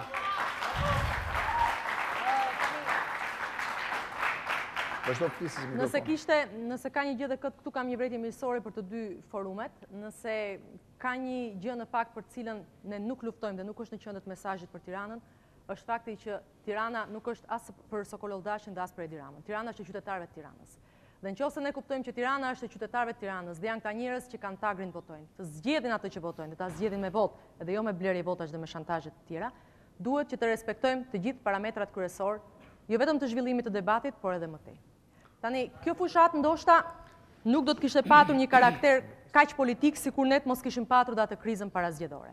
Në qoftë se do t'i hyjmë, do t'i hyjmë debatit politik dhe do të duam të analizojmë se pse me tre korrik u votua për partinë demokratike dhe pse me tre korrik u ndëshkua me votë partia socialiste, Dhe se sa do të zgjasë dashuria e Partisë Socialiste me aleatët e saj që unë e vë fortësisht në dyshim me gjithë deklaratat që bëjnë për njëri-tjetrin, jo vetëm në momentin e sinkronave të spotit, por vazhdojnë t'i bëjnë, por vazhdojnë t'i bëjnë edhe sot e kësaj dite, e vetmja, e vetmja, e vetmja gjë e cila mbetet e pakundërshtueshme është që qytetarët e Shqipërisë votuan për Partinë Demokratike më tre korrik dhe do të votojnë prapë më tetëmbëdhjetë shkurt, sepse besuan në luftën kundër korrupsionit dhe luftën kundër krimit të organizuar. Tani, për sa i përket asaj që ju s'keni çfarë të thoni dhe sigurisht nuk ju vjen mirë që të përmendni se sa ka rënë krimi i organizuar në tetëmbëdhjetë muaj që në qeverisje të Ministrisë së Brendshme ishte Sokol Olldashi, se me çfarë sigurie dhe me çfarë background-i politik vjen Sokol Olldashi në bashkinë e Tiranës. S'jam shumë dakord me Linda. Këto gjëra. Vetëm s'kuptoj, më fal, vetëm s'kuptoj. Andis, ti nuk mund të më ndërpresësh mua duke menduar se fiton supremacinë e debatit duke ndërprerë. Më lër të mbaroj. Më fal, vetëm një pyetje, më fal. Më lër nuk i marr pyetjet nga ty, marr pyetjet nga Fevziu. Më lër të mbaroj unë. Atëherë, në qoftë se juve nuk ju vjen për shtat që të pranoni këto argumenta, sepse ky njeri ka një potencial shumë më të fortë dhe sigurisht që nuk ka frikë përpara Edi Ramës. Nëse ka një njeri të frikësuar që nuk pranon as ta përmendë kundërshtarin dhe as të pranojë as një debat, është Edi Rama. Dhe nëse ka një arsye, nëse ka, nëse ka një arsye të fortë për të cilën qytetarët dhe në 18 shkurt do të vazhdojnë me Partinë Demokratike, janë arsyeja numër 1 është lufta kundër kundër korrupsionit. Tani meqë jemi te korrupsioni, të lutem Blendi do të më lësh 2 minuta kohë. Te korrupsioni kemi folur para 2 ditësh, Andis,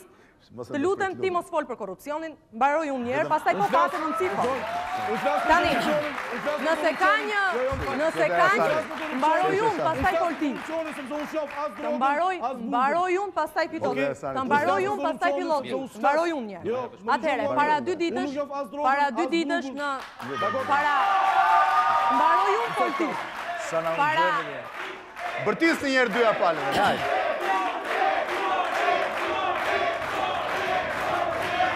Po.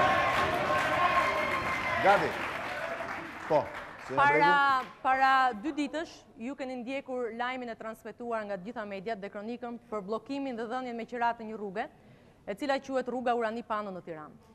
Është një vendim jo vetëm i paligjshëm, por Është kriminal dhe për ta thënë me shumë mirësi është një vendim absurd. Është njëlloj sikur sot bulevardin e Tiranës ta japësh me qira dhe t'i thuash dikujt bëj një pallat aty sepse kur të bësh kontratën e shitjes kjo gjë do të jetë e jotja, kjo rrugë do të jetë e jotja. Tani, përderisa këtu spekullohet dhe flitet gjithmonë me terma të përgjithshëm për t'u larguar të vërtetës, unë po ju dëshmoj faktin, realitetin e rrugës Urani Pano në Tiranë. Në datën shumë shkurt, nuk do t'i lexoj letrat. Me datën kam kërkuar dy minuta leje dhe them se më takon. Po. Në datën pesë korrik të vitit dy mijë e dy, me një kontratë qiraje nga Bashkia e Tiranës, përfaqësuar nga i nderuari i tij në atë kohë shumë i nderuar dhe sot akoma më keq Edi Rama, dhe qiramarrësit Ilir Mata, jepet me qira trualli si më poshtë, rruga Urani Pano sipas genplanit etj. Kjo rrugë jepet me qira për të ndërtuar një pallat.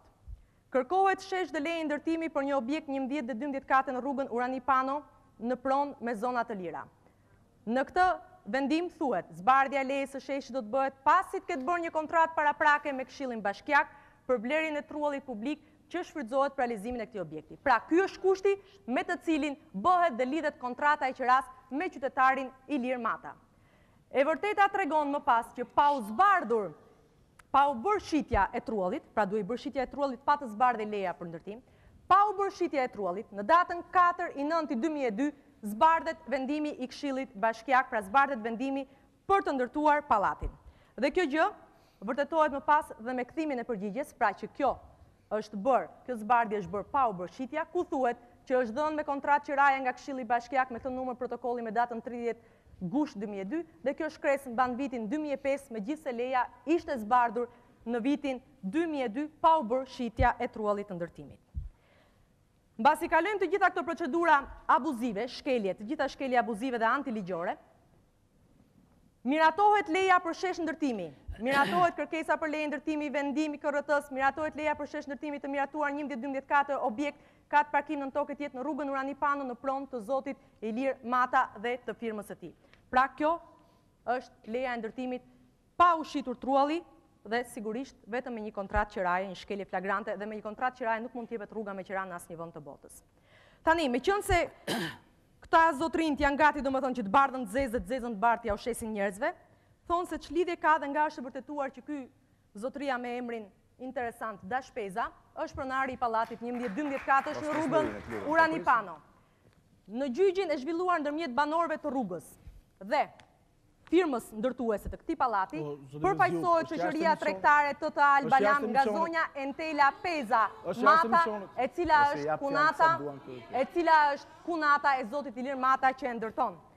Dhe për t'ju bindur juve që gjithë kjo familje dhe zoti Dash Peza, i cili ka patur dhe konflikt interesi sigurisht duke qenë punonjës në Bashkinë e Tiranës, në momentin që ka kërkuar lejen e ndërtimit për atë pallat që sot ka prishur jo vetëm rrugën, Kemi vendimin tjetër të porositur nga zoti Dashamir Peza, është raporti ku kërkohet studimi gjeofizik për zotin Dashamir Peza. Po, Tani, që ju të mos të mos ngatërroheni dhe që Andisit dhe që Andisit Andisit mos i vijë dhe keq po ju them po ju them që përveçse me vendimin numër 22 datë 22 i nënti 2001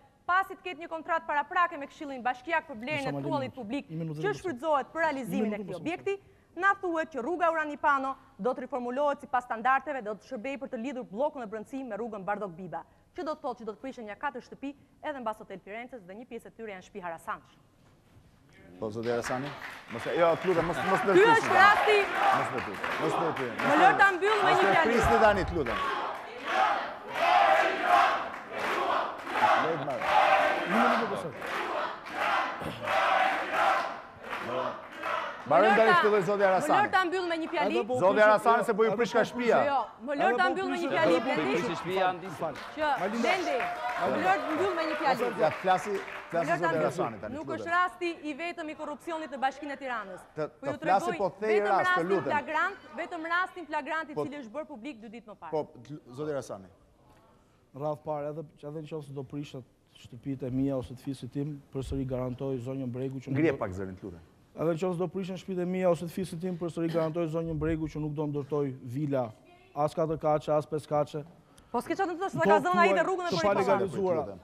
Të cilat janë akoma të palegalizuara. Po lëreni pranimin e klasës. Në radhë të dytë, në radhë të dytë, pse i kërkoj, pse pse i kërkoj unë dhe gjithë Partia Socialiste votën qytetarëve në 18 shkurt? Pikërisht për t'u shmangur nga kjo praktikë e vjetër.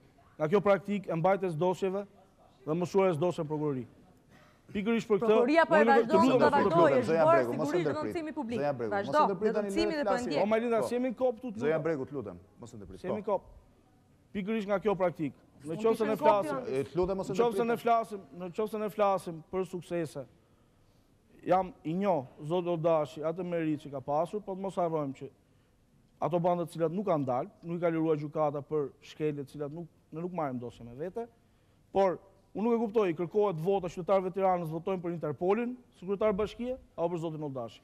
Kjo është ajo që doja të thoja. Po, po.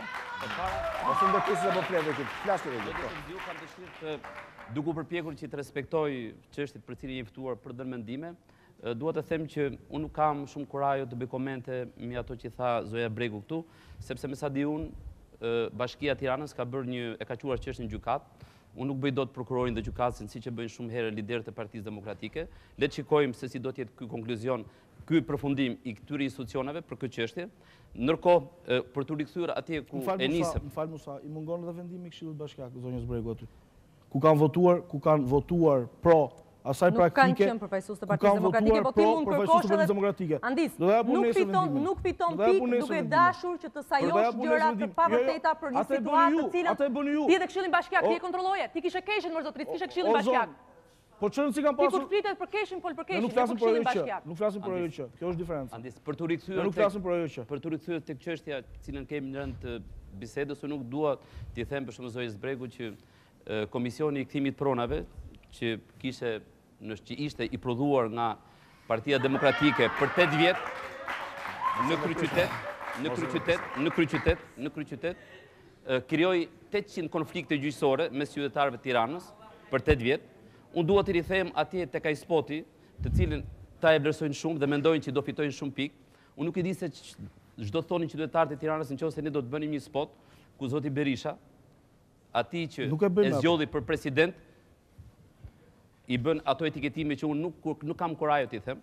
i thotë padrino për shembull, dhe atij që i thoshte padrino para dy viteve e fton dhe e respekton si president. Unë mendoj që kjo është politika e vjetër, me të cilën ne duhet të bëjmë përpjekje të gjithë për t'u ndarë, dhe sa më shpejt. Dhe besoj që vota e datës 18 është edhe një votë për t'u ndarë nga e vjetra. Tani, tani unë lidhur me spotin. Unë e thashë në hyrje të këtij emisioni, se mu mu dha radha i pari, e thashë që në hyrje këtij emisioni që e gjithë fushata jonë nuk mbështetet aspak tek efekti që mund të bëjnë spotet, posterat apo materialet e tjera propagandistike, absolutisht. Fushata jonë do të rezultojë fituese për gjithë ato argumentat për cilat ne folëm, ku bëjmë pjesë edhe ato që u përmendën në spot. Edi Rama do t'iki nga bashkia e Tiranës, Jo për shkak të spotit. Jo për shkak, jo për shkak të spotit. Jo për shkak të spotit, po për shkak se shumë e shumë gjëra të tjera që nuk thuhen dot në një spot. Qytetarët e Tiranës i dinë. Këto ishin vetëm disa disa argumenta pikante, ishte çështja çështja e modelit Dash Peza apo modelit Blendi Gonxhe. Që njerëzit e kuptojnë më mirë modelin Monku Kaleshi. Kjo, kjo bashki, kjo bashki ka pasur gjithmonë një Monku Kalesh. E keni ju në koalicion Monku Kalesh. Ka pasur gjithmonë një Monku Kalesh i cili merrte, merrte, merrte ryshfetin. E kanë tonë koalicion. Merrte, e kanë koalicion. Merrte 35 euro për metër katror. E kanë tonë koalicion dhe bëllisët. Në, në emër të kryetarit të bashkisë. Dhe për këtë arsye. Unë sot, kur po kaloja te bashkia e Tiranës, kam pa një flamur të bardhë atje. Dorëzim. Dhe kam përshtypjen që kam përshtypjen që kryetari i bashkisë është i kapitulluar, ka ngritur flamurin e bardhë dhe sigurisht që nuk është spoti ai që e bën për të kapitulluar. E bën e bën frika që ka nga vota e qytetarëve, të cilët nëse më tre korrik qytetarët e Tiranës i dhanë shpresën dhe besimin e tyre Partisë Demokratike. Flamuri i bardhë, flamuri i bardhë. A ka mësi? Ja të mërë. Tani, mbas një viti e gjysmë, qytetarët e Tiranës, ne e dimë se jemi dy deputetë të Tiranës kemi përballë. Dhe këta e dinë se kush e ka fituar Tiranën. Kush e ka fituar Tiranën. Kështu që, mbas një viti e gjysmë, qytetarët e Tiranës nuk e kanë më as shpresë dhe as besim Sokol Oldashin apo Partinë Demokratike. E kanë bindje. E kanë bindje se ne realizuam gjithçka premtuam. Se Sokol Oldashi, Sokol Oldashi, Sokol Oldashi nuk është Superman, absolutisht. Sokol Oldashi nuk është njeriu që bën gjithçka, nuk është mesia që po pret, që po pret Tirana. Po Sokol Oldashi është njeriu i përkushtuar. Është njeriu që atë që ka thënë, atë që ka thënë e ka bërë. Atë që ka ditur të qeverisi, që ka qenë i përgjegjshëm nga dita e parë deri ditën e fundit si ministër, si deputet dhe njeriu për cilin nuk ka as edhe një thërrime, as edhe një fjalë lidhur me ndershmërinë e tij. Ndërkohë që ka përballë njeriun që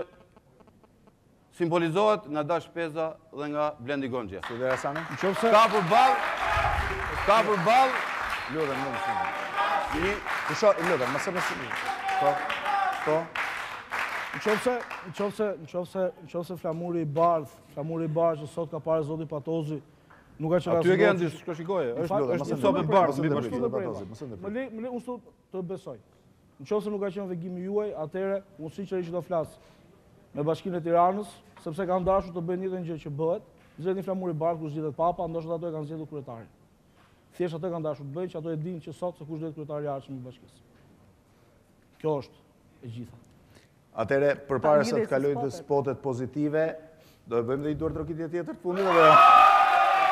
Atëherë, kaloj regjisë të fusë dhe një herë spotet publicitare, spotet publicitare dhe rikthehemi në transmetim drejtpërdrejt. Jemi rikthyer sërish në transmetim të drejtpërdrejtë në këtë debat mbi filozofinë mediatike të dy kandidatëve kryesorë për Bashkinë e Tiranës, zotit Edi Rama dhe zotit Sokol Olldashi.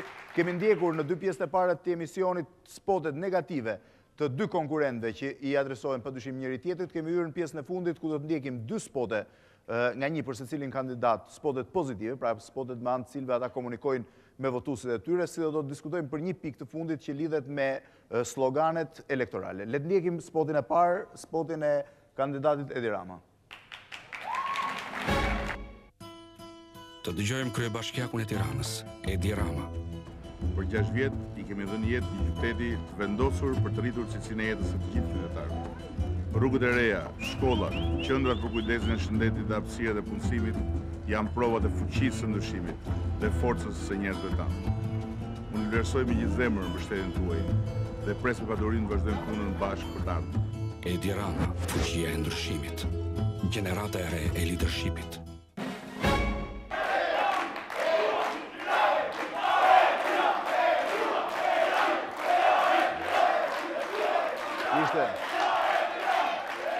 ishte. Ishte spoti i parë, spoti me cilin, me cilin kandidati, kandidati për kryetar bashkie i partisë socialiste i drejtohet votuesve të tij. Po, zoti Ulqini? Në këtë spot... Do doja që në këto dy spotet pozitive të kemi vetëm nga një, domethënë mos zgjatemi shumë. Po, po. Në këtë spot, bëhet kujdes që ai që është argumenti më i fortë i fushatës, ajo çfarë ajo çfarë ajo po. çfarë ka ndryshuar në kryeqytet, të jetë thelbi i spotit. Unë besoj që ky spot e realizon atë. Dhe Edi përpiqet që të sjellë në vëmendje qytetarëve, të luajë me figurën, të luajë me si argument thelbësor të ketë atë çfarë ka qenë dhe çfarë është sot Tirana, me pamjet që janë konkrete, korrekte, me, me fakte pra, sepse shumë çka që ne shikojmë sot atje duket sikur i përkasin një kohe shumë të kaluar, por në fakt po, i përkasin para 6 viteve, para 4 viteve, para 5 viteve. Dhe ky është thelbi dhe Edi është shumë fatlum, sepse në këtë spot ai ka mundësi që të luajë me një gjë që është që është në sy të gjithëve, me atë çfarë ishte dhe çfarë është Tirana. Dhe unë besoj që është një spot i arrirë. Do bëni oponencë, apo do të flasë zoti Hasani? E thjeshtë, e thjeshtë. Jo, po, jo, le të bëjë oponencë dhe flisim, po, po? Jo, unë do thoja vetëm që duhet të ketë qenë sforcim i madh. Ju lutem, po? Duhet të ketë qenë sforcim i madh për, për zotin Rama, që të, që të bëjë, që të bëjë atë spot, dhe, dhe të ta paraqesë veten si, si, si njeriun e fuqisë së ndryshimit, ndërkohë që, ndërkohë që është një slogan i vjedhur, edhe si slogan, jo si argument. Sepse ju besoj e mbani mend që koha për ndryshim dhe ndryshimi si filozofi ishte arma, arma jonë e fushatës elektorale që na nxori fitues në vitin 2005. Dhe ishte, ishin shtypur disa nga materialet, nga, disa nga materialet elektorale zotit Olldashi me, me siglën e ndryshimit, ndërkohë që Edi Rama mori dhe vodhi sloganin. Domethënë, ky njeri mirë që i vodhi këtij qyteti të ardhmen, mirë që i vodhi këtij qyteti resurset, mirë që i vodhi këtij qyteti frymëmarrjen, mirë që i vodhi këtij qyteti parqet, lulishtet, kinematë e gjithçka tjetër, po ky vodhi edhe sloganin e kundërshtarit. Ne kishim megjithatë, megjithatë, megjithatë ne nuk jemi xheloz, se kjo nuk është çështje slogani, kjo është një betejë që ka përfunduar. Është është çështje formaliteti, ne thjesht për respekt të fushatës do ta çojmë atë deri më datë 18 shkurt, por të thuash fuqia të thuash fuqia e ndryshimit dhe ta personalizosh të gjithë atë pak punë që mund të jetë bërë në këto vite dhe atë shumë zullum që është bërë në këto vite,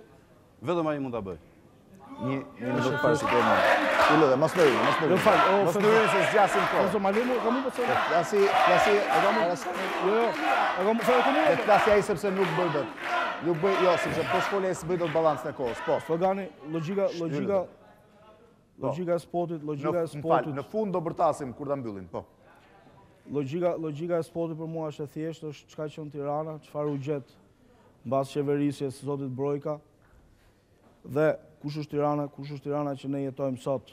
Janë thjesht, janë thjesht fakte, nuk janë rrëmim nëpër arkiva për të marrë fraza të caktuara emocionale të kujdo. Ajo çka nuk mund të japë në spot partia demokratike është... Mos bëni replika. Ajo çka nuk mund të japë në spot partia demokratike është se çfarë ka realizuar gjatë këtyre tetëmbëdhjetë muajve, cilin nga premtimet e tyre elektorale ka realizuar në tetëmbëdhjetë muaj qeverisje. Dhe kjo është pikërisht arsyeja që e mbajnë gjithçka në sens negativist, është pikërisht arsyeja sepse është dhe kjo arsyeja se pse do humbin në datë tetëmbëdhjetë shkurt. Nuk do doja të t'i referohesha asaj që tha zoti Patozi që gjithë procesi është thjesht formalitet sepse respektoj votën e popullit dhe ai është sovrani. Por, arsyeja se pse unë mendoj që Partia Demokratike do dali në tetëmbëdhjetë shkurt do fillojë rrugën e saj drejt opozitës është sepse këta zotëri ne duhet t'i njohim meritat që ato kanë. Janë shumë shumë mirë për të bërë opozitë, janë shumë shumë mirë për të kritikuar gjithçka, ato nuk dinë të ndërtojnë. Nuk ka një kilometër rrugë të ndërtuar, janë gjitha institucionet të shkatërruara duke filluar nga presidenti, nga prokurori i përgjithshëm, nga korporata, nga telekomi e kushdo. E kanë shumë shumë të lehtë, flasin për korrupsion, por harrojnë që korrupsioni është te këta zotërinj, sepse ka marrë institucione si KESH-i, të cilit zonja Bregu iu referua shumë shpesh, e morën me njëqind e gjashtëdhjetë milionë euro fitim, sot e kanë çuar me njëqind e gjashtëdhjetë milionë euro humbje. Dhe pyetja që çdo qytetar duhet të drejtojë është ku janë treqind e njëzet milionë euro humbje. Pyetja që çdo qytetar duhet bëjë është pse dilni në çdo ekran dhe gënjeni, nga pesëqind milionë dollarë i çuat gjashtëqind milionë euro, në një kohë që ky është plani i tatimeve dhe doganave që ju keni marrë në vitin dy mijë e gjashtë.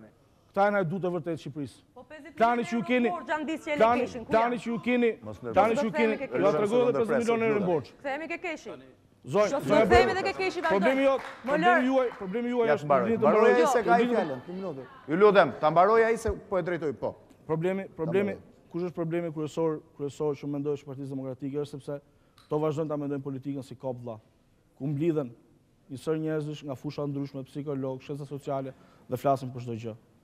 Zonja Bregu nuk di çfarë janë llogaritë e pagushme, nuk di çfarë janë llogaritë e detyrueshme, nuk di sa janë arkëtimet, nuk di sa janë humbjet. Vazhdoj të ruaj respektin për zonjën Bregu, megjithëse e dija që nuk nuk i di dhe nuk i mësoi kurrë këto gjëra. Ajo çka unë pyes zonjën Bregu është je 50 milion euro mangut nga plani 2006-s. nga plani juaj. Ku është ky plan? Jeni treqind e njëzet milionë euro gropë në korporatë. Nuk janë borxhe ato zonjë. Borxhe janë ato që ju i jepni nga buxheti i shtetit, nga lekët e këtyre zotërinjve këtu dhe këtyre këtu, të cilëve ju i thoni mbylle gojën. Dakord? Për të për të mbuluar zallamahinë që kryeministri juaj, vajza e kryeministrit tuaj, ministri dhe drejtori Fusin në xhepat e tyre. Kjo është zonjë. Mos e ndërprisni debatin ku bëhet interesant, të rrini më të qetë. Ehm, Atëherë do të kthehem tek spoti për t'ju rikthyer pastaj vëmendjes së madhe që po më kushton debati zoti Hasani. Spoti i Ramës është në fakt shumë i mirë. Ai flet dhe ka një imazh pozitiv për qytetin, e vetmja gjë që unë do të mund të ndërroja në fund në vend Edi Rama fuqia e ndryshimit, ishte Edi Rama fuqia e mashtrimit. Show sporti do t'ishte perfekt fare. Mos e ndërprit, një minutë. Dhe do t'ishte...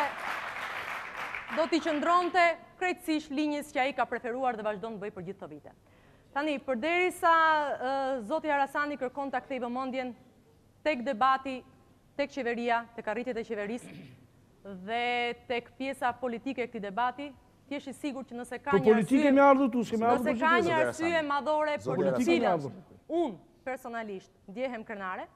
Është arsyeja që Partisë Demokratike iu afrova nga ajo organizatë të cilën ju, nga ai think tank, ju po i referoheni disa herë sonte sikur të ishte organizatë kriminale. Ishte një organizëm dhe bashkim intelektualësh, intelektualësh, të cilin ju u munduat që fill një muaj ta kopjonit dhe nuk ia arritët dot kurrë. Pse? Sepse ata njerëz intelektualë, dhe ata njerëz që vërtet, ata njerëz që vërtet, o po kopjoni përditë, ata njerëz që vërtet besojnë se ky vend mund të ndryshojë, janë njerëzit që besojnë tek forca e ligjit, ku janë ata njerëz sot? Njerëzit që besojnë tek lufta kundër korrupsionit, kundër krimit të organizuar. Ku janë njerëzit sot? Këta janë tiranasit, këta janë qytetarët e Shqipërisë, dhe janë këta qytetarë, Andis, dhe janë këta qytetarë, Janë këta qytetarë, Andis, të cilët votuan më tre korrik dhe nuk mund të atashoheshin pranë Partisë Socialiste, prandaj zgjodhën Partinë Demokratike. Ju as keni transmetuar vlera, as keni transmetuar vlera dhe as jeni në gjendje të transmetoni më vlera. Prandaj ndahemi thellësisht në këtë rrugë së bashku. Për sa i përket pastaj pjesës personale me mua po mundohem të bëj sikur Nuk të dëgjova për ato që the. Në pjesën, në pjesën time të intelektit i dashur Andis, ti mund të rrish këtu gjithë natën, nesër mbrëma edhe gjithë javën. Jo, kam fushatë. Dhe nuk je, dhe nuk je i zoti kurrë të arrish të më bësh mua të ndjehem inferiore për gjëra të cilat janë padituria jote. Mos më bë, mos më detyro, mos më detyro që pjesën time të moslëndjes dhe të mosbërjes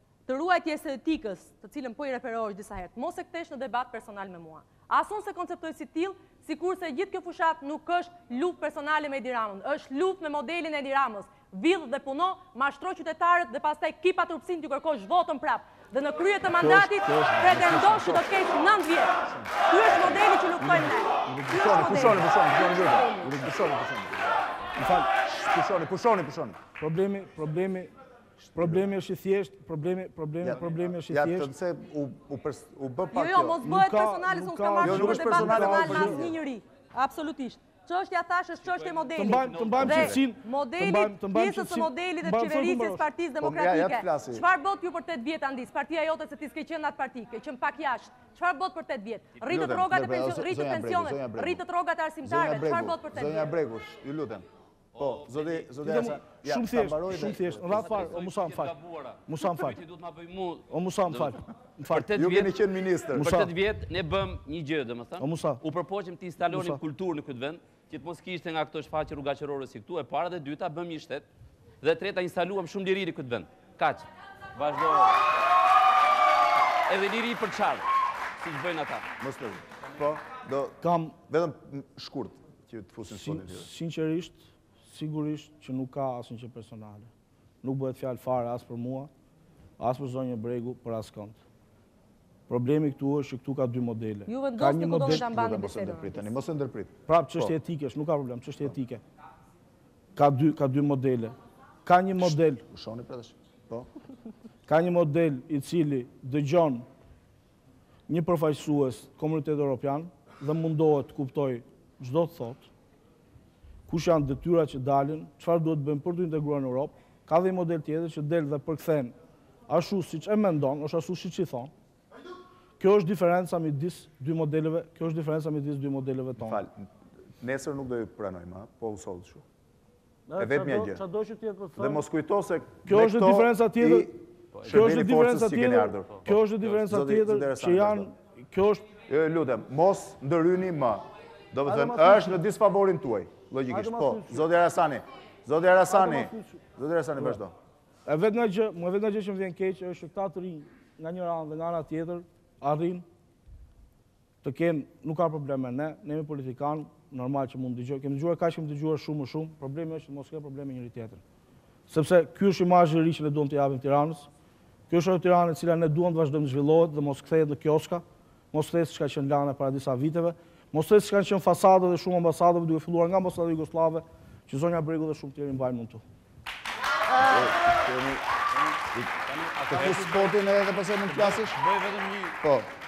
Bëj vetëm një koment të shkurtër. Tani meqë dy zotërinjtë kanë dëshirë të luajnë në fushën tonë, ne mund t'i kthejmë një përgjigje. Këta kanë dëshirë të luajnë që ne nuk kemi mbajtur premtimet dhe prandaj kemi probleme. Përse debat shumë i gjatë, lutem. Jo, ky është argumenti kryesor i këtij debati. Sepse zoti Arasani sapo tha që ne nuk mbajmë premtimet. Të fus po. Tani unë po them vetëm një gjë. Jo po them vetëm një gjë. Fakti që kryeministri i këtij vendi është njeriu më i angazhuar në këtë fushatë e mbyll këtë këtë kapitull. Njeriu më i angazhuar në fushatë që nga që nga Konispoli deri në Vermosh. 10 takime në ditë dhe shkon i takon të gjithë njerëzit ballë për ballë, sepse i ka mbajtur të gjitha premtimet. U ka thënë Do luftojmë krimin dhe korrupsionin. Krimi, krimi është tkurrur dhe meritë për këtë ka të padiskutueshme ish ministri i brendshëm dhe kryetari i ardhshëm i bashkisë së Tiranës, Zoti Sokol Olldashi. Luftë kundër korrupsionit që ka dhënë frute për qytetarët shqiptarë, 600 e ca milion euro investime të hedhura nëpër rrugët dhe ujësjellësat e Shqipërisë, a ka mësi? A ka mësi? Kemi rritur pagat, kemi rritur pensionet e fshatit dhe qytetit, kemi bërë reformën arsimore, kemi bërë legalizimet dhe kemi bërë gjithçka kemi premtuar në vitin 2005. Dhe ky është argumenti kryesor që ne na bën të jemi fitimtarë në Tiranë dhe në çdo cep të Shqipërisë. Shumë jo, shumë shumë thjesht. Të mos të mos kalojmë, jo, shumë shumë thjesht, të mos kalojmë te premtimet, sepse shumë shumë thjesht. Zoti Patozi vjen nga Vlora, ku u premtua nga kryeministri juaj, nga deputetët aktualë të PD-së në Vlorë, që do bëhet një referendum për termocentralin e Vlorës. Nuk e di a është bërë apo s'është bërë akoma ky referendum, por ju lutem shumë, jepini zgjidhje se shqiptarët duan drita. Spoti publicitar i spoti publicitar i Sokol Olldashit. Regjia të përgatitet. Tirana nuk mund të zhvillohet sipas shijeve dhe interesave të një njeriu. Zgjidhjet e duhura vijnë si interes i qytetarëve. Tirana ka nevojë për një plan urbanistik i cili i jep fund kaosit që prodhon korrupsioni me lejet e ndërtimit. Trafiku i rënduar do të zgjidhet me ndërtimin e Unazës së Madhe dhe rrugëve të reja brenda qytetit. Tirana ka nevojë për frymëmarrje. Ka nevojë të ndërtohet për të jetuar dhe jo vetëm për të fituar.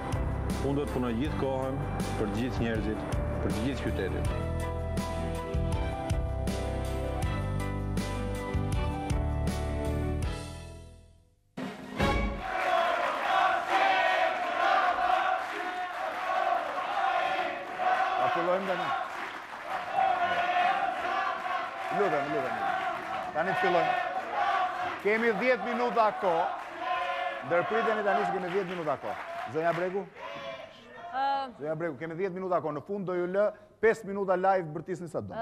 Andis, Andis, të falënderoj për ambasadën jugosllave që ma solle në vëmendje, për pak e harrova që ambasada jugosllave është blerë nga i njëjti person që ka privatizuar rrugën Urani Pano me emrin Dash Peza.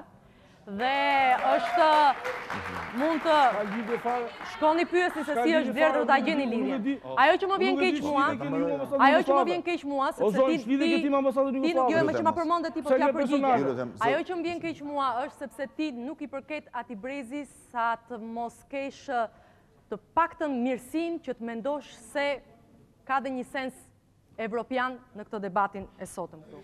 Që ju të harroni, që ju të harroni dhe të mos përmendni me dashakeqësi, sa i, sa i marrëveshjes së stabilizim, o Andis, mos më ndërprit, sa harron pastaj kur të ndërpres, mos më thuaj që është mungesë etike, harron, unë të përgjigjem ty, që ju të harroni po flas për partinë tuaj meqë ju e përfaqësoni sonde, që një nga arritjet më të mëdha të kësaj qeverisje, është nënshkrimi i marrëveshjes së rëndësishme të stabilizim asocimit, e cila kurrë nuk do të ishte nënshkruar në qoftë se ju do të kishit qenë në pushtet, sepse ju kurrë nuk do të kishit qenë në gjendje të jepni tregues konkretë të luftës kundër korrupsionit dhe krimit të organizuar. Dhe ti personalisht atëherë meqë vjen këtu, duhet të ishe shumë dhe ke gjëra për të cilat për të cilat të vlerësosh Sokol Olldashin, se ke qenë disa herë prezent edhe në situata të tjera konfliktuale, kur Sokol Olldashi ka qenë ai që ka kërkuar të të shpëtojë dhe nga incidente të vogla personale.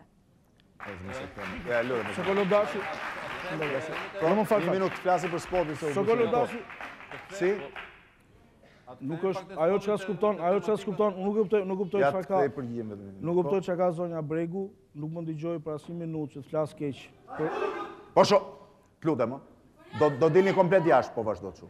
Morët vesh apo jo? Do ndërpres tani debatin 10 minuta derisa dilni jashtë. Po vazhduat kështu. Ajo është Fal, ajo është E kam, era, nesër nuk do, nesër nuk do shkelni këtu. Morët vesh. Madh. Vazhdo. Fal, po mund mund mund të thosh po. Nuk do jetë, nuk do jetë, më fal, më fal, më fal.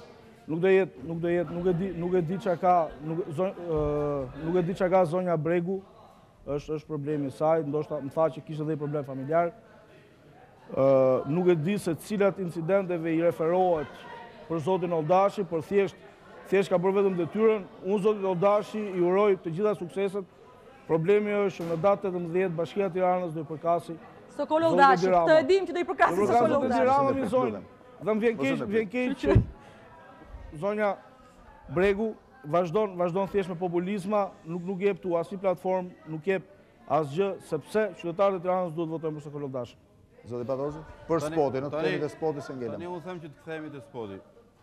Ne sapo, sapo pamë spotin e Olldashit. Dhe pak minuta më parë kishim spotin e rivalit. Mjafton të krahasosh të dy spotet për të kuptuar që ka një diferencë shumë të madhe në mentalitet. Është çështje konceptuale. Mënyra se si e mendon Olldashi, administrimin e Bashkisë Tiranës dhe mënyra se si e ka konceptuar gjatë gjithë kësaj kohe kryetari aktual i Bashkisë Tiranës. Ai thotë jam unë që e bëj, jam unë fuqia e mashtrimit, e shkatërrimit, e përdhunimit edhe gjitha gjërave tjera, e bllokimit, e gjitha gjërave tjera, duke na kujtuar në një farë mënyre sa fashizmin po aq edhe regjimet totalitare komuniste, ku njeriu ku lideri vihej në krye të gjithçkaje dhe shkelte gjithçka me këmbë. Ky njeri na ka përdhunuar qytetin e, na ka diktuar edhe fasadat, edhe parqet, edhe lulishtet, edhe kinematë dhe gjithçka tjetër. I ka shkatërruar ato dhe guxon edhe thotë që jam unë fuqia, jam unë ai që e bëj.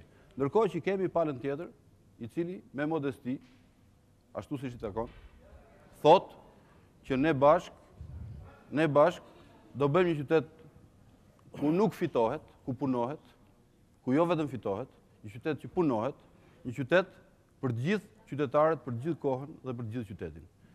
Dhe çfarë duhet të themi me këtë? Ne kemi përballë, kemi përballë dy modele. Dhe ne nuk themi që Sokol Olldashi do të fitojë vetëm për shkak të meritave individuale dhe meritave personale që i ka të padiskutueshme, që janë merita politike, janë merita në sensin moral, në sensin etik dhe gjithçka tjetër që lidhet me një personalitet të madh të politikës. Por, ne gjykojmë që Olldashi do ta fitojë Tiranën, do ta fitojë Tiranën për shkak se përfaqëson një model për cilin unë fola pak më lart, një model qeverisje, i cili u implementua me votën e lirë të shqiptarëve me tre korrik. Sokol Olldashi është ministri më i suksesshëm i qeverisë Berisha. Është rasti i parë, do thoja, që në një kabinet nuk ka asnjë ish koleg ministër sot të Zotit Olldashi që nuk e thotë publikisht nuk e thotë publikisht që ky është ministri më i zoti i kabinetit tonë. Dhe nuk e thotë njeri këtë, se ne e dimë shumë mirë, e dimë shumë mirë që në politikë konkurrenca është shumë e ashpër, është shumë kompetitive.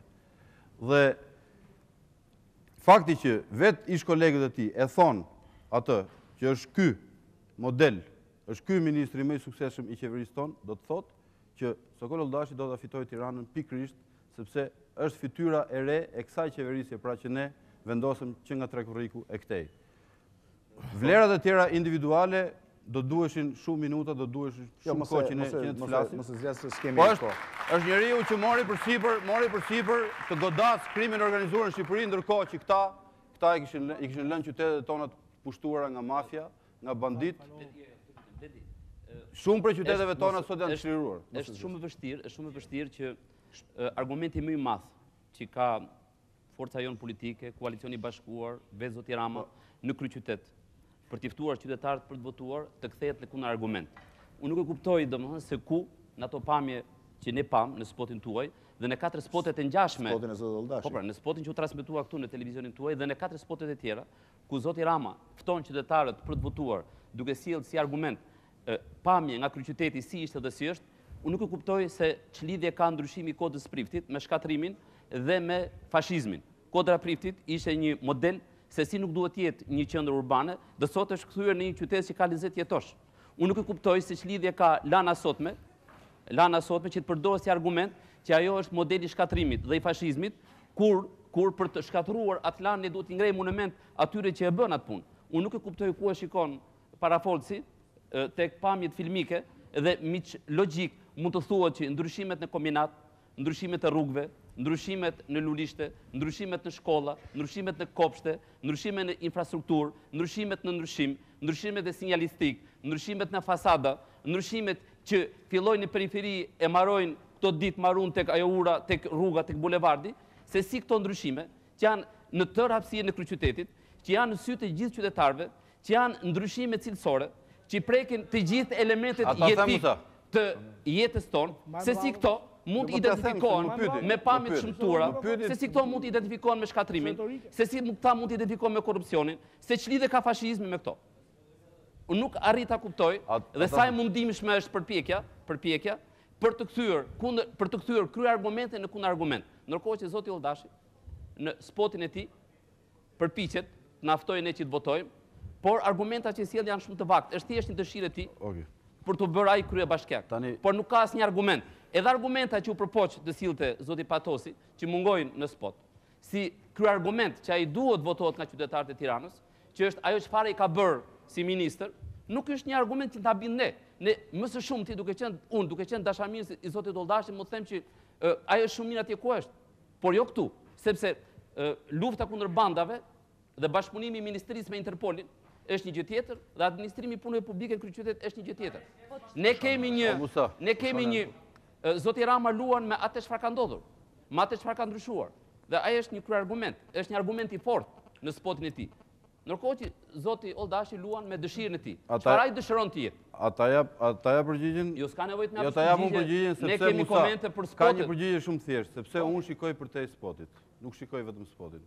Edhe qytetarët po, shikojnë përtej spotit. Unë, unë, unë, unë, Musa, unë nuk, unë dhe shumica e qytetarëve të Tiranës nuk nuk gënjehen, nuk gënjehen me njeriu që del dhe u shpjegon me stenda gjëra po me, që nuk kanë lidhje. Po me çfarë gënjehen me shembullin e Korçës, Shkodrës, Elbasanit, Lushnjës? Dhe e bën këtë çdo 3 vjet.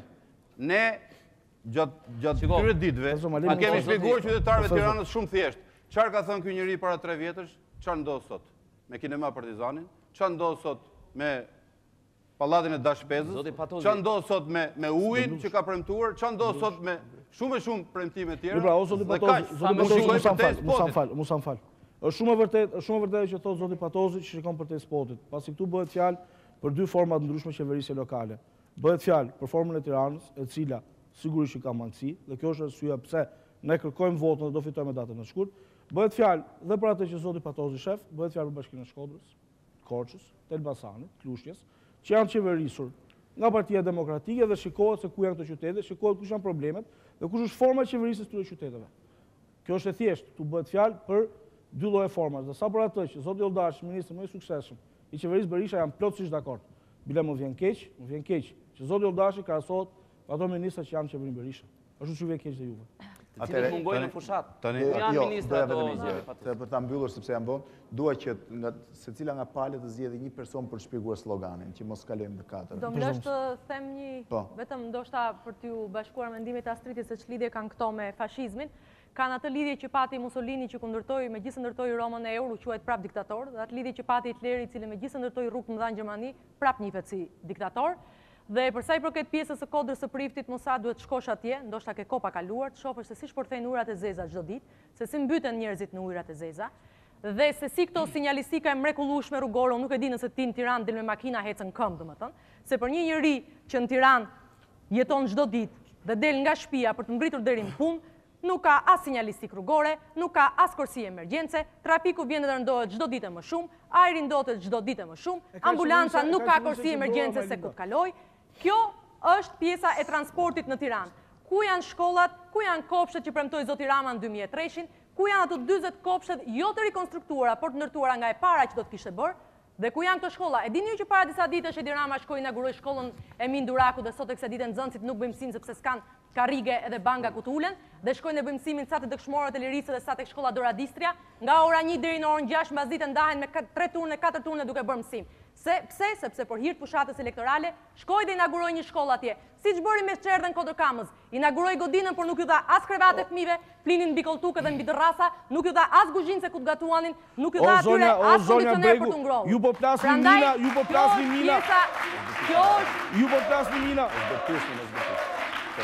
kjo është pjesa, kjo është. Zotëri, Edi Rama do të ndëshkohet sepse është i ri, i.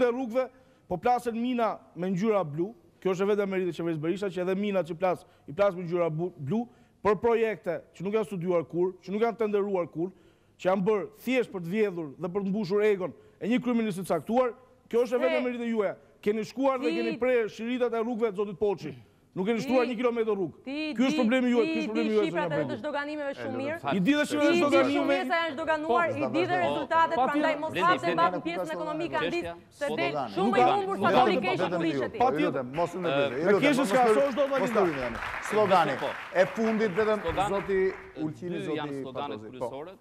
të dy kandidatëve, Rama fuqia ndryshimit, dhe... Jo, shpjego vetëm Partia Socialiste. Jo, jo, po. dhe po do bëj një koment që do ta mbyll me dy fjali.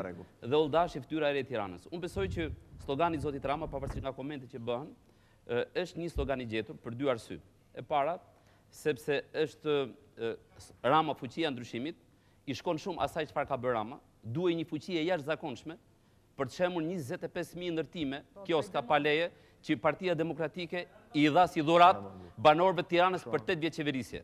Duhej kurajo e madhe. Ne të gjithë e kujtojmë se çfarë guximi dhe sa e vështirë ishte për të marrë fjala vjen për shembull iniciativën për ta bërë Lanën ashtu siç u bë, sepse aty kishte të fortë, hallexhi, Njerëz të socialistëve me pushtet e të PD-së me pushtet.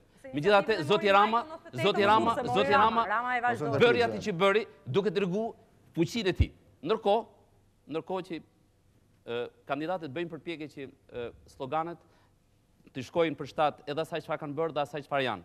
Dhe unë besoj që Rama fuqia e ndryshimit është në sinkron të plotë edhe me atë çfarë ka bërë dhe me atë çfarë përfaqëson edhe si individ, si njeri, si qenje njerëzore.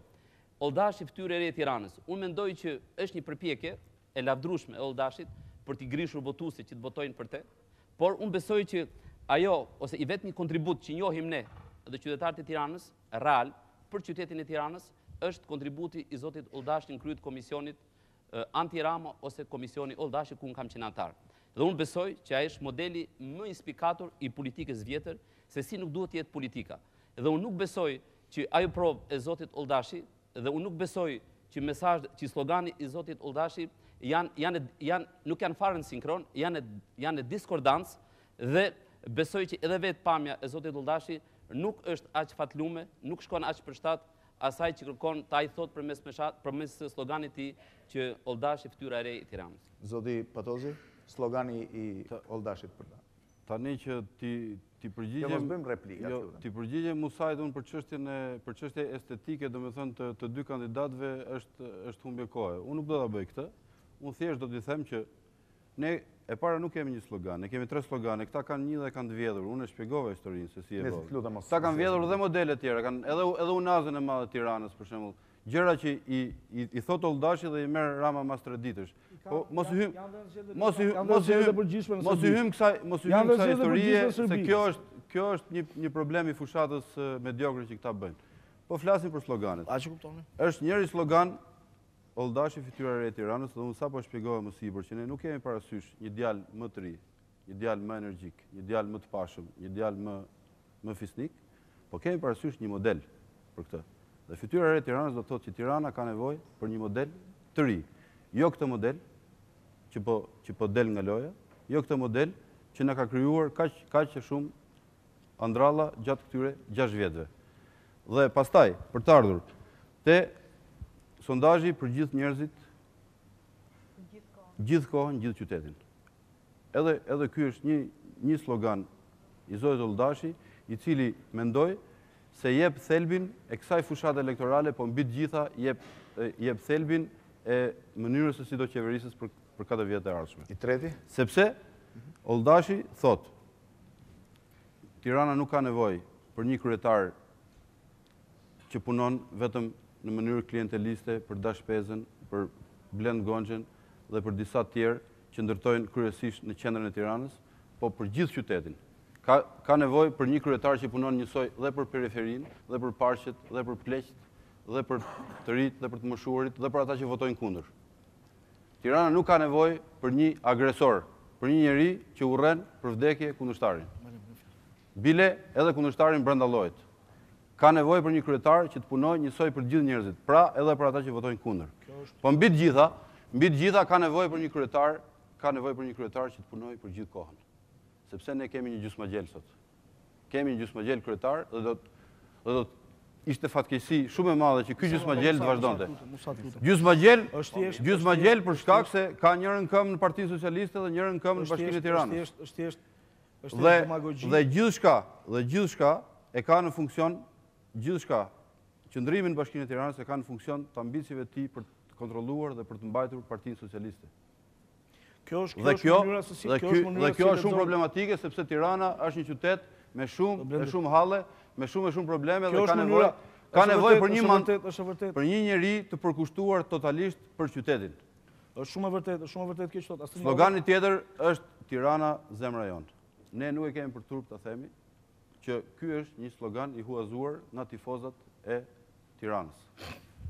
Dhe dhe ky është një slogan që ne nuk na nuk na emocionon fare fakti që po qesh zoti Harasani, sepse unë po i kujtoj atij që Silvio Berlusconi i vuri emrin e partisë tij Forza Italia nga një parullë tifozësh në stadium, i vuri emrin dhe zoti Harasani e di se çfarë se çfarë bëri zoti Berlusconi me partinë e tij. Erdhi menjëherë në pushtet.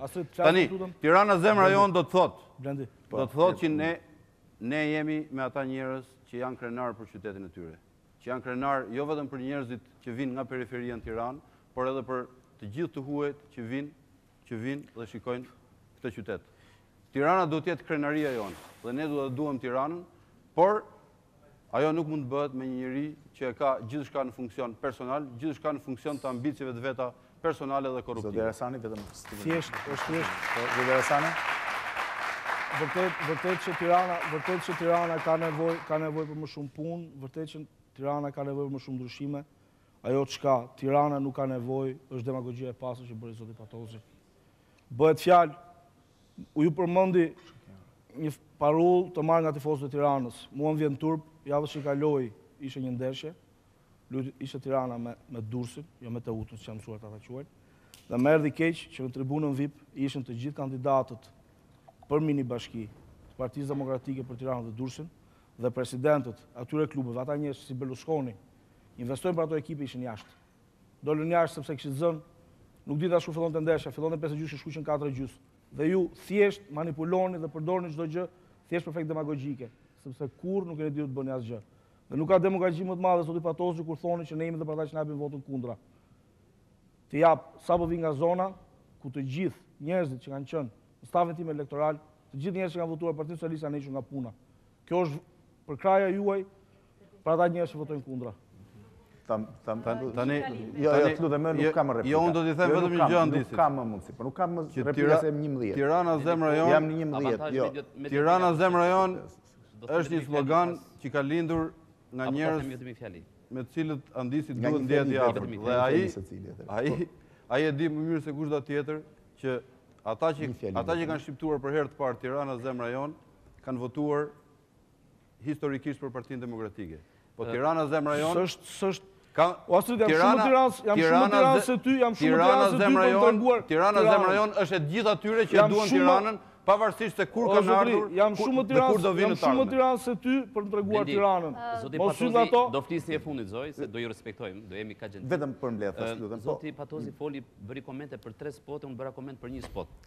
Po gjej një tjetër dhe vidhe një tjetër. Vidhe një tjetër slogane. Slogane, për tre slogane. Çuditërisht edhe raporti mediatik, edhe raporti mediatik është 3 me 1. Pra, në qoftë se i kemi me përqindje, PD-ja ka 3 herë më shumë kohë televizive për spotet sesa Partia Socialiste. Dhe kjo tregon që këta po bëjnë një fushatë 3 herë më të shtrenjtë se ne, por këta nuk na kanë thënë asnjëherë se ku i kanë gjetur paratë. Dhe kjo është një problem i madh. Zonja Bregu, po? Ta them unë se ku janë gjetur paratë, paratë janë gjetur me atë pjesë të fondit të buxhetit të shtetit dhe ata biznesmenë të cilët besojnë tek Sokol Olldashi dhe jo tek Edi Rama kanë dhënë atë shumë të caktuar që e njeh ligji, sigurisht, KQZ-së, jo juve, KQZ-së.